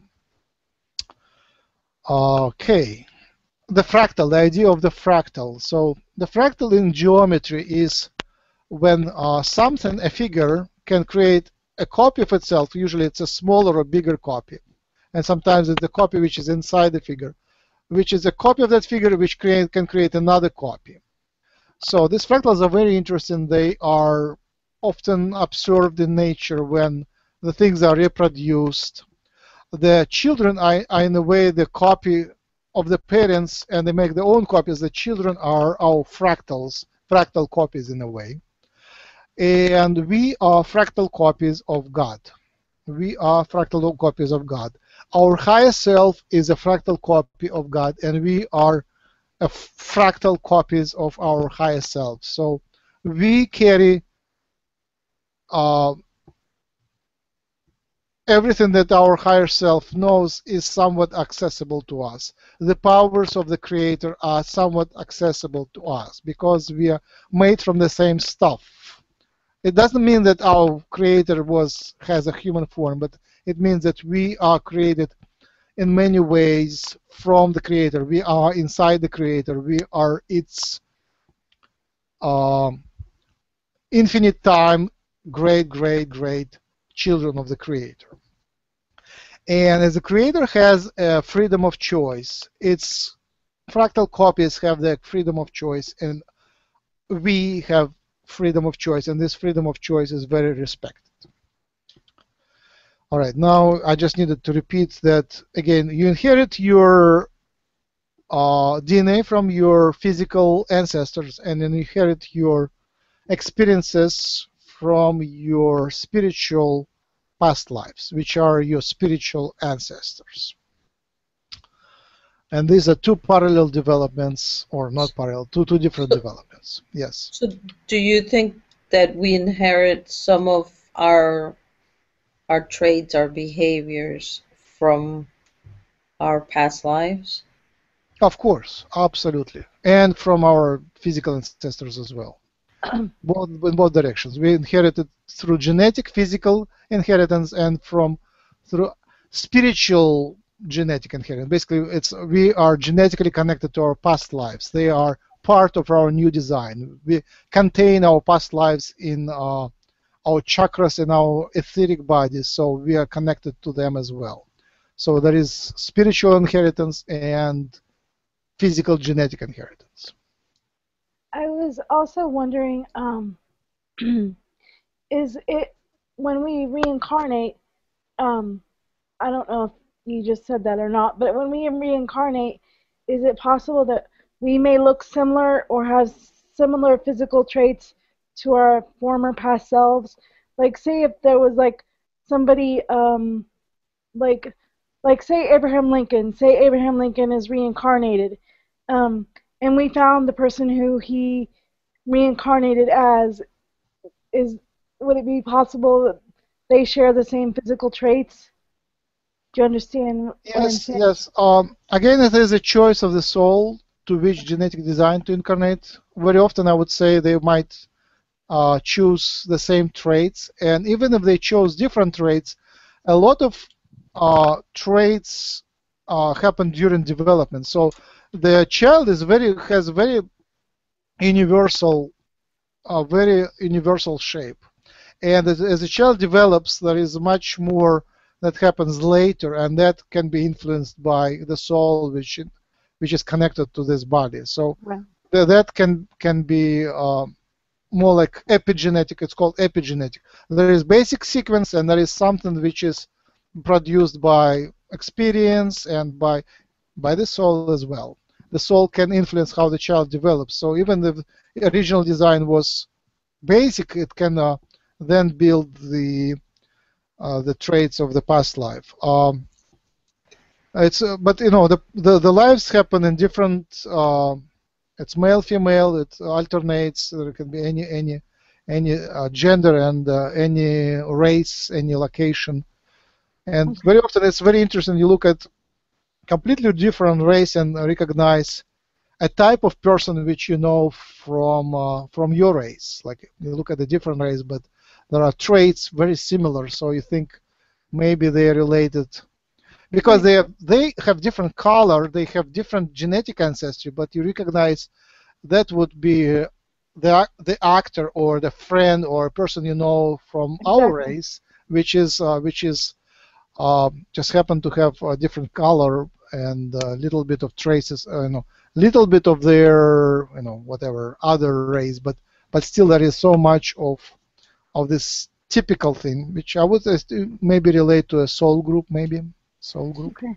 So But also- Yeah, so if I showed you a picture of of me in a past life, would would you be able to tell me if if, if you felt like it looked like I like know. you felt me? I think it's more personality than physical appearance. I think it's more Okay. vi- vibration is is much more stronger than physical appearance. Yeah, because I didn't think it, it looked like me. Um, um, but yeah, yeah, I, I think it's more that, and it seems also the personality traits also get, some of them get carried. I guess it depends on what, what the soul decides uh, at the time Yes. wants to learn and how the lessons are going to be learned. Uh huh. Yeah. Uh, again, it's it's uh, you know we are talking about things which have been researched, but you know, such tiny details, it's really hard to to get answers to that. It's you know, I don't have as an investigator, I don't have much evidence one way or another. But when I speak to the spirits, I you often ask about these questions, and whatever they tell me, I tell you now. So it's it's reconstruction from what I learned from the spirits directly, or by reading books of uh, Michael Newton and others on that topic. Michael Newton, Newton, The Journey of the Soul and the Destiny of the of the Soul, uh, wonderful books on the topic. Okay. Yeah, because I had done a picture and I I didn't know it was me. I did it two years ago. And then at some point, you know, so people started asking me who was that, and I said, I don't know. Then eventually I thought, okay, I think that's me in a past life. And eventually I found out recently that it's me at Machu Picchu. Mm. That's interesting. Mm. That's interesting. I understand, maybe. Yeah. Yeah. Let's discuss uh, any questions. I think I, I covered most of their. Oh, I didn't finish. So the volunteering thing. So at our side, you can volunteer for visiting the colony, uh, donating your DNA to get hybrid children up there, and uh, our friends keep keep the bring up the children in very good conditions. They have much richer life than we have on our Earth. They are in the free world, and we are here locked down. So our children, hybrid children, they are the children of the universe and can travel, have the freedoms, have education, have great lives. Unfortunately, they miss us. They want to be with their human parents and be communicate with human parents, which is which communication is quite limited. Uh, but otherwise, so otherwise, it's um, it's a very great way to contribute our DNA and and more than that, our love to the universe. Next thing you can invite the infusions of um, alien DNA from friendly species into yourself. And how this happens is um, they explain basically that they use uh, holographic projections. Basically, they teleport, transport, beam down the images of future cells and the cells materialize gradually in the body and um, they carry more of alien DNA and uh, incorporate and materialize here in the body and usually that would be for the brain they they but other organs as well and they kind of uh, put them there and then they activate this DNA so you get certain percent of alien DNA in your body working and this brings new qualities, mostly uh, spiritual qualities. Hey Max, do you mind if Yes. I ask a question about the hybrid children? Yes, thank you. Um, what species of hybrid children are coming out of the, this particular project?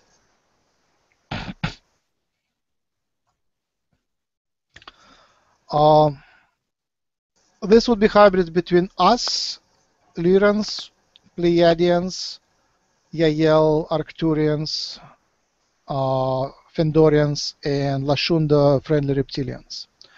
Uh, this this would be individuals. It's not a huge project. Its project is you know counts maybe tens, hundreds of people, not not more than that. So these are individuals yet. Some of them are placed on uh, motherships. Uh, some of them are placed on planets, and some of them travel between. They're they're free and have very nice um, environment. We ask that they are brought up in family environment because some of the civilizations they like uh, have more of communal upbringing of children. Like Yahyel have communal upbringing of children. So we ask that our hybrid children are brought up in families, and uh, they're basically uh, given um, surrogate surrogate parents. And unlike in human case, the surrogate parents are actual parents of the children. So the child has uh, the DNA from us here, also from DNA from their surrogate parents. It would be like three-parent hybrid or four-parent hybrid or even more parent hybrid of specific individuals. So we, for these children, could be not 50% as usual. Like for human children, we are 50% parent, 50% donate, 50% DNA, and for hybrid children, we could donate maybe 25% of DNA. So we would be related to them more like grandparents more than uh, direct parents. Um, is it a good answer? Did, do you want to know more? No, that was perfect. Thank you very much, Max. You're welcome. I have I have a bit of a question too um, regarding the hybrid children. If I gave you a scenario like I was told um, that I had um, teenage hybrid children, well, in that instance, and that they were and that they were part um, and that they were part gray. Now, uh-huh. Zeta Grays. Now, Zeta Grays aren't a part of the human colony program, are they? You say Zeta? Zeta. Mm-hmm. Uh, no. And how would I? Um, I'm 35, so how? Um, so then, would that have been like a situation where they, where they took it without my knowledge? You know, the DNA. Yes, uh, Zetas usually don't ask, okay. and uh, also they they they are very uh, they they're known to be manipulating time a lot, and not only zetas, but zetas are especially time manipulating. They are not actually from this time, not from this reality, and not, not even from reality of our other friends. They are from different, completely different reality. Okay. So they, you know, if the, the children have are of any age doesn't really matter because it doesn't correspond to our time. Okay. At all, basically the sequence of events usually corresponds, but they can uh, stretch and squeeze time at wish. So uh, you know the children could grow up with the speed of maybe 10, 10 times faster than our children, and not only grow faster, but they have full life experience. So basically, their their time space is much denser in this reality. So for us, it it uh, one year passes and they get full 10 years of uh, of life experience uh, in just in different dimension. Uh, Zetas usually they are not very nice to humans. Not That's what very... kind of worries me. They give me the creeps, and I and to hear that I have hybrid children by Zetas and knowing that they're not in the program was kind of worrisome to me. Okay, so yeah, I'm, I'm, I'm thank you. I'm trying to help here. Um, so zetas are not very nice, but they're not very bad either. Zetas are in between. Uh, they have this panic mentality, tragic mentality that their civilization is dying and that uh, they are saving their civilization, and the only way to save the civilization is to uh, hybridize everywhere with everything.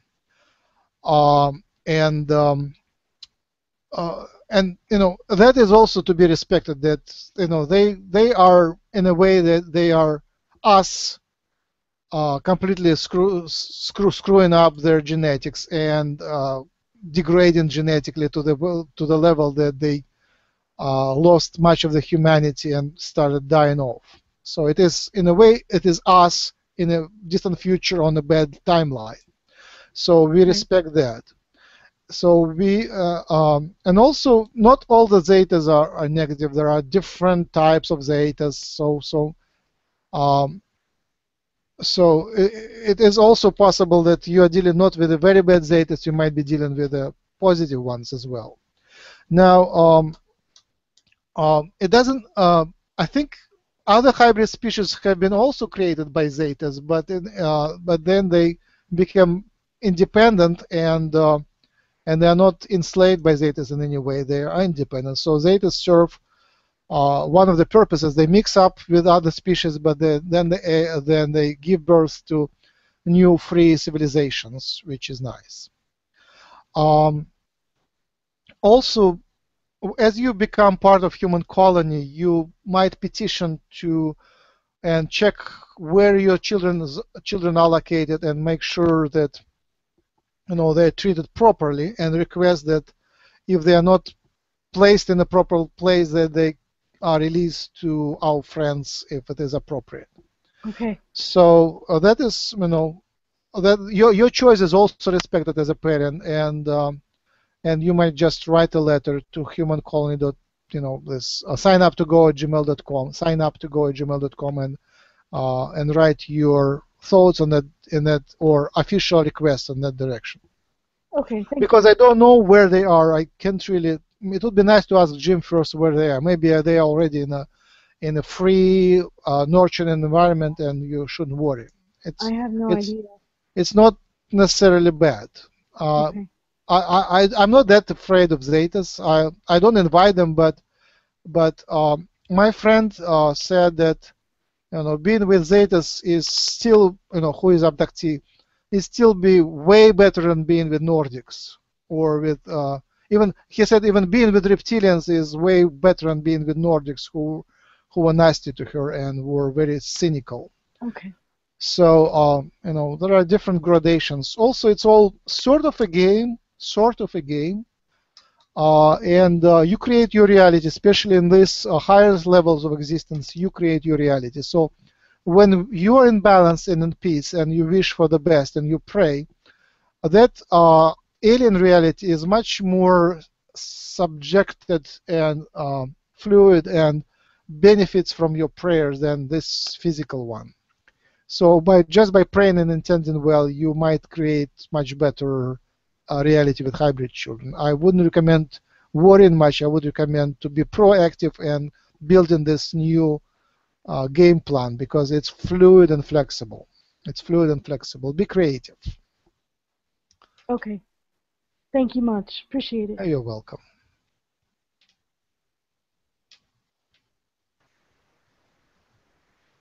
Max, has Yes. there ever been a um, has Girk Fitneer ever done a hybrid that it's mainly human and then just you know 20 25 percent of of a Lyran, let's say?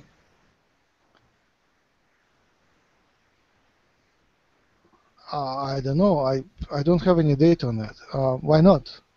I think it's pretty straightforward. What's wrong with it? I mean, it's pretty straightforward.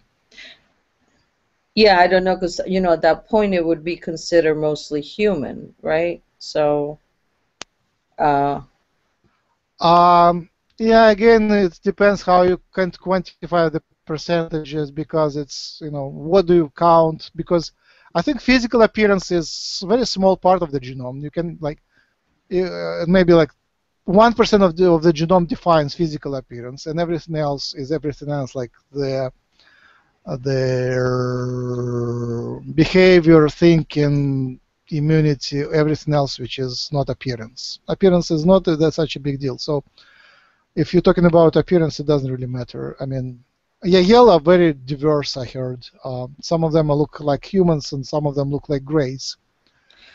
so can they can they actually play with the DNA enough so that let's say they you would see a hybrid and you say he's you know totally human, but he has a lot of the abilities of let's say Lyrans have.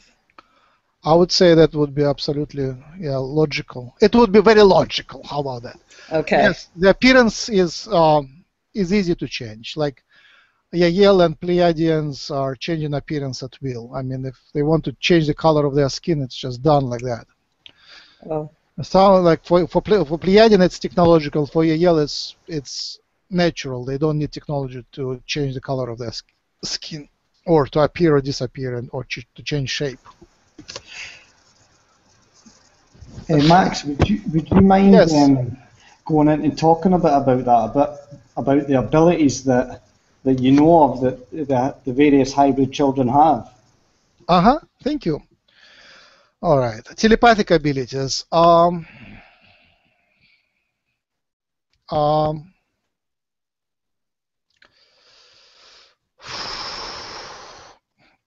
To have full telepathic abilities, you have to be within telepathic culture. It's like learning a language. It's like learning a language. So, human children might have some telepathic abilities, uh, but um, you know they have to be exercising uh, exercising that skill somewhere. So the ones who visit human colonies, they have that opportunity. some of them are talking to aliens, and this way they um, exercise their to- talking to the aliens right here on Earth, and this way they develop. As I understand telepathy, it mostly comes from the books of uh, a book from the book of Adrian Dvir, um, X3 extraterrestrial medicine. Basically, the telepathy goes through other, another dimension. Obviously, it's it's not it, it's not physical, obviously, uh, and so you connect from your physical brain to your etheric brain, and maybe a few more steps away from the body to towards the spirit. There, there is a transfer from information through the spirit world, and it comes back from the spirit to ethereal body to the brain.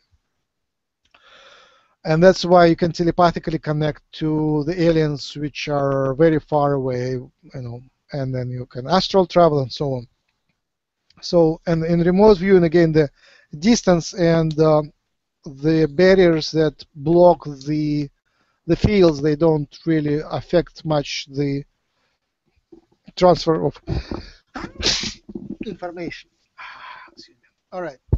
Other abilities. Uh, so yeah, some some people have these abilities later, and again, um, it's it's normal for a person to develop spirituality gradually. Basically, you you in a childhood you have some innate abilities, then then you still grow spiritually, and by more advanced age, you could be more advanced in your uh, different psychic and spiritual growth, and it's lifelong growth and integration of the body and and uh, and the spiritual bodies.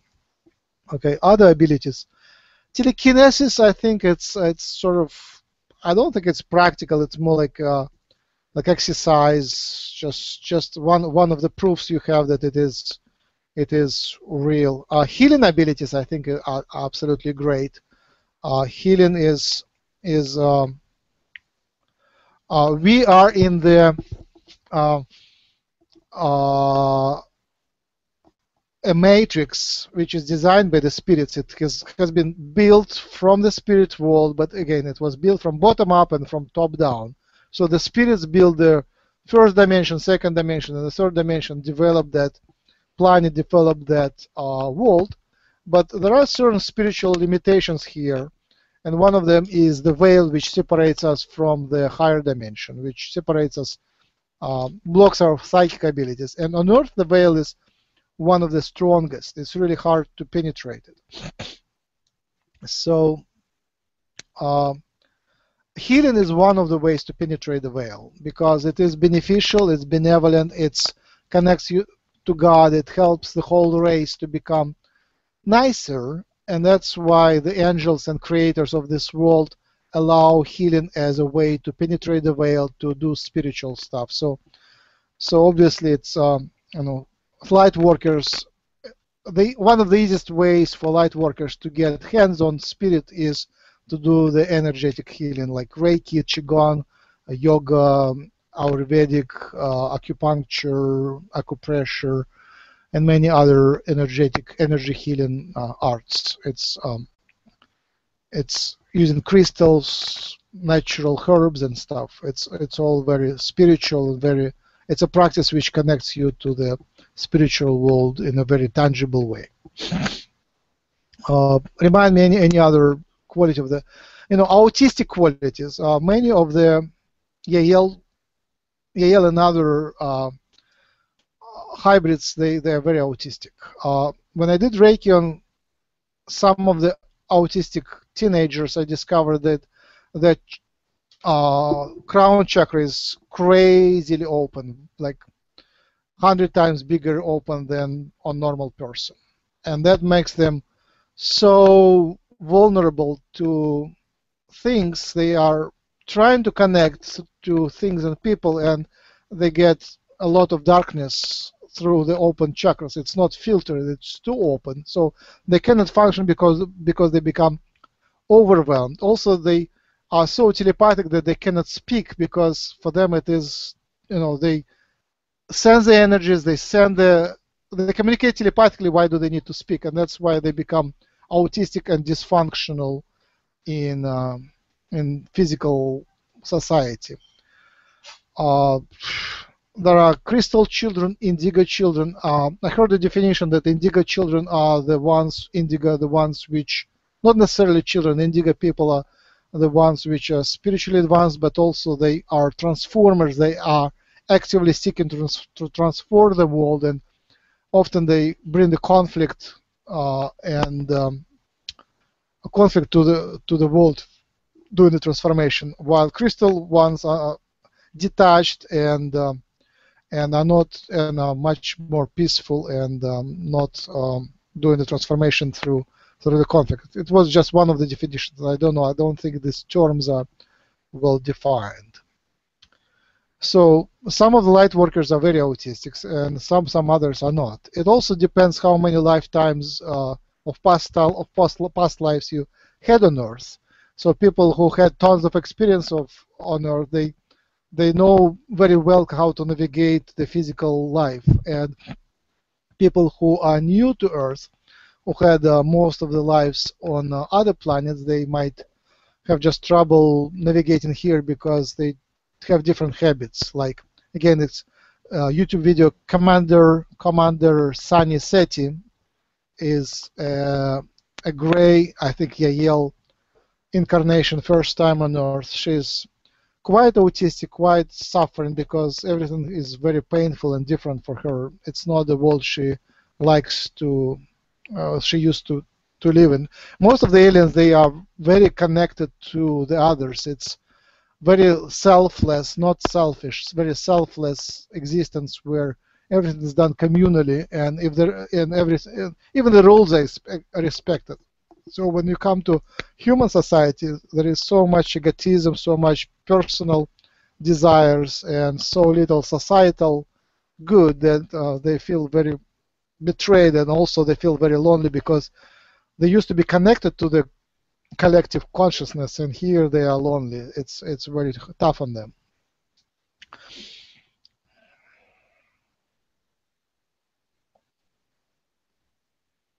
Any more questions?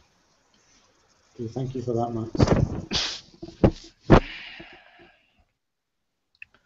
Yeah, some some of the children they talk to animals and um, to spirits. They see orbs, see plants. It's all you know, see see uh, energies. Uh, they are natural healers. My friend, my Reiki teacher, uh, teaches Reiki for children, so children learn basics of the Reiki and and um, are very enlightened and. Um, many of my healing friends they work with autistic children and with autistic families. Usually uh, it takes two to get an autistic child two a pair of the mother and the child. Usually it's very controlling very physical mother. Maybe maybe the mother is also spiritual but but in those pairs the mother is often overly controlling and the child and drags the energy from the child so the child becomes very dependent and cannot function independently so when you want to treat a pair of mother-child with autistic child, you usually should start with a, with a parent and uh, try to help the parent to release some of the grip on the child, let the child breathe. And often it's the hardest thing to do because usually those mothers are not not flexible. They're not flexible. They are so used to that coexistence of uh, a child being dependent that they, you know, they find it they just don't want to release the grip. So that continues. Um, you know, we observe it all the time. It's it's kind of even the classics in normal psychology. Yeah, I guess it takes um, it takes art to to heal that that disbalance, and uh, sometimes you just have to take time and uh, gradually help them to build new new trust and new relationship. I think I'm basically done. The DNA explained. Uh, just, just, one more question. Yes, go ahead.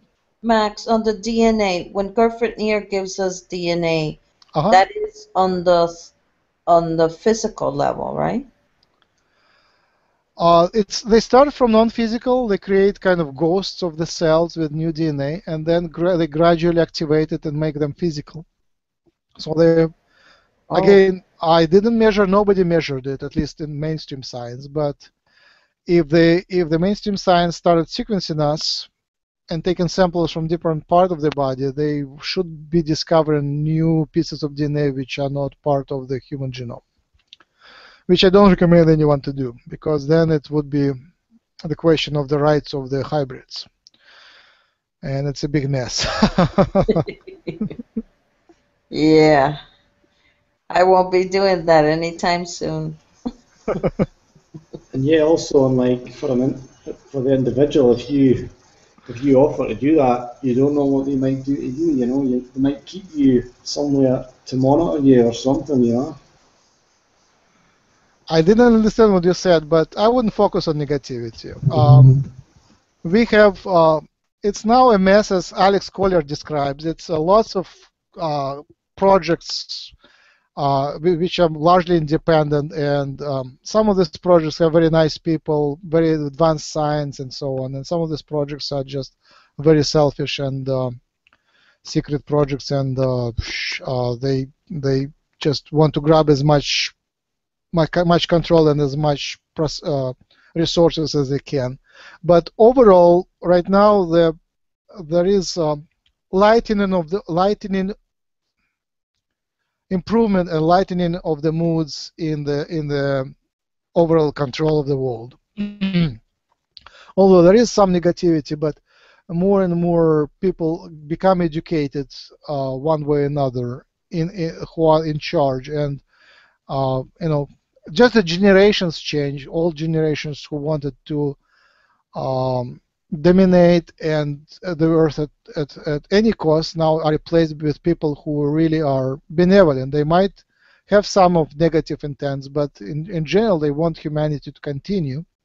And so, so there, there are good hopes. There is a lot of people who are more or less enlightened in power, and more people are coming there, and more people are awakening from from that. Especially because in recent times there is um, expunge. What's the word? The the bad guys, the bad aliens have been expunged in my in many ways. We had much more influence of Zetas, Orion negatives, uh, Nordic negatives, uh, Anunnaki negatives uh, on human politics, and more recently they were largely removed. So we have now mostly humans controlling the Earth, not the alien negative aliens controlling the Earth. So negative humans are, at least they're humans. That's already nice, and uh, gradually it becomes more and more transparent, and uh, and our alien friends also help that transparency. And basically, we can see how the humanity awakens gradually. I'm playing a new game. It's actually started to be boring, but but at some point it was very nice. Uh, you, it's called Ingress. Ingress. Check it out if you have a smartphone. Install that game. It's free. It is. I think it feel. I feel it was. It is built by very enlightened people who actually were authors of uh, Google Earth and also the project which collected different historical artifacts on the surface of the of the planet. That ingress is you walk around the city and look at different human artifacts and you take them over. And there are, there are two different factions. One is supporting aliens and one is against aliens. It's called resistance. So pro aliens are green and resistance is blue. And these factions have uh, the same uh, same resources, same sort of fighting capacities.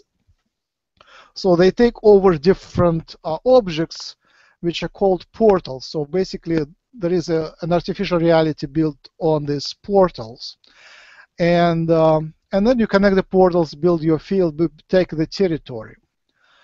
Um, so on the top of this real world, real physical world, there is that uh, artificial virtual reality world. So you have to actually have to walk and press buttons, but but you have to actually look at these objects and and walk around. So this is one of the first games, or the first game, which which actually promotes healthy walking on the streets. It's one thing which is wonderful. And second thing, I suspect that this game has been has two intended or unintended consequences. First, all the portals are mapped now. It's like every tiny artifact, every unusual stone is mapped and is part of the global map. And I believe the stronger the portal, the more fighting is happening for it. So, uh, so that is finding the portals. I think is the side effect of this game, intended or unintended. And second, we can see how the pro-alien faction, whether it wins or loses at different parts of the globe. And um, I think it corresponds roughly, roughly to how the light workers, pro-alien light workers and anti-alien resistance is actually distributed on the globe. So when you look at the map of this game, who took over the different parts of the of the uh, globe and cities, you can see actually the how the global consciousness. It, it is a map of global consciousness, pro and anti-alien global consciousness, more or less related. Oh, I think it's exciting to see it like graphed. It's exciting. All right, let's do the commercial. Um, uh, I invite people to write to me, max at humancolony.org, uh, offering your materials for the newsletter and your volunteered help, your voluntary, if you want to volunteer for to the work on the newsletter. And the, I will include you. And contact me on Skype, max 2040507 to be, become part of the newsletter project. So we create nice piece of, of newsletter and then it we publish it on uh, different sites as a, it's a little booklet and also it becomes part of the archive so people who come here they can read uh, past news and past introductions in a more organized fashion. I think it's wonderful. And also Guru Dan and um, Robbie, our wonderful voices, volunteered to read uh, this newsletter in real time to make a webinar reading the newsletter and maybe commenting. So it would be just a fun uh, visual uh, uh, release of the newsletter. And Danny, thanks Danny, who is our ar archive person who uh, annotates all the videos. Uh, he also is very interested in creating a television version of the newsletter, but a television news service for the light workers. That would be wonderful. So that's uh, wonderful developments. Um, we are part of the humancolony.org. We, uh, search YouTube for Hucolo, H-U-C-O-L-O, and you find our videos. Join us, become part of our uh, daily hangouts, and donate at humancolony.org for uh, web, website support and for our channelers. And you all can also uh, reserve a channel, a paid channeling session with Jim, Kim, and several other channelings, uh, channelers who offer their private sessions, and you can speak to the aliens in person. Uh, stay positive. I bless you all. Thank you very much for watching and listening. Thank you. I thank those who joined the webinar, and um, I bless you all.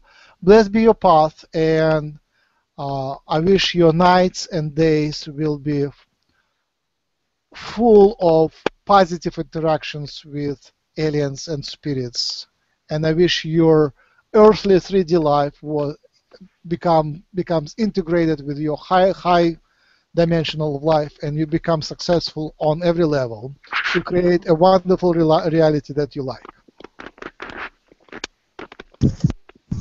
Thank you so much, Max. Much appreciated. Yes, thank you so, so much. All right, goodbye. Goodbye. Good night. Good night.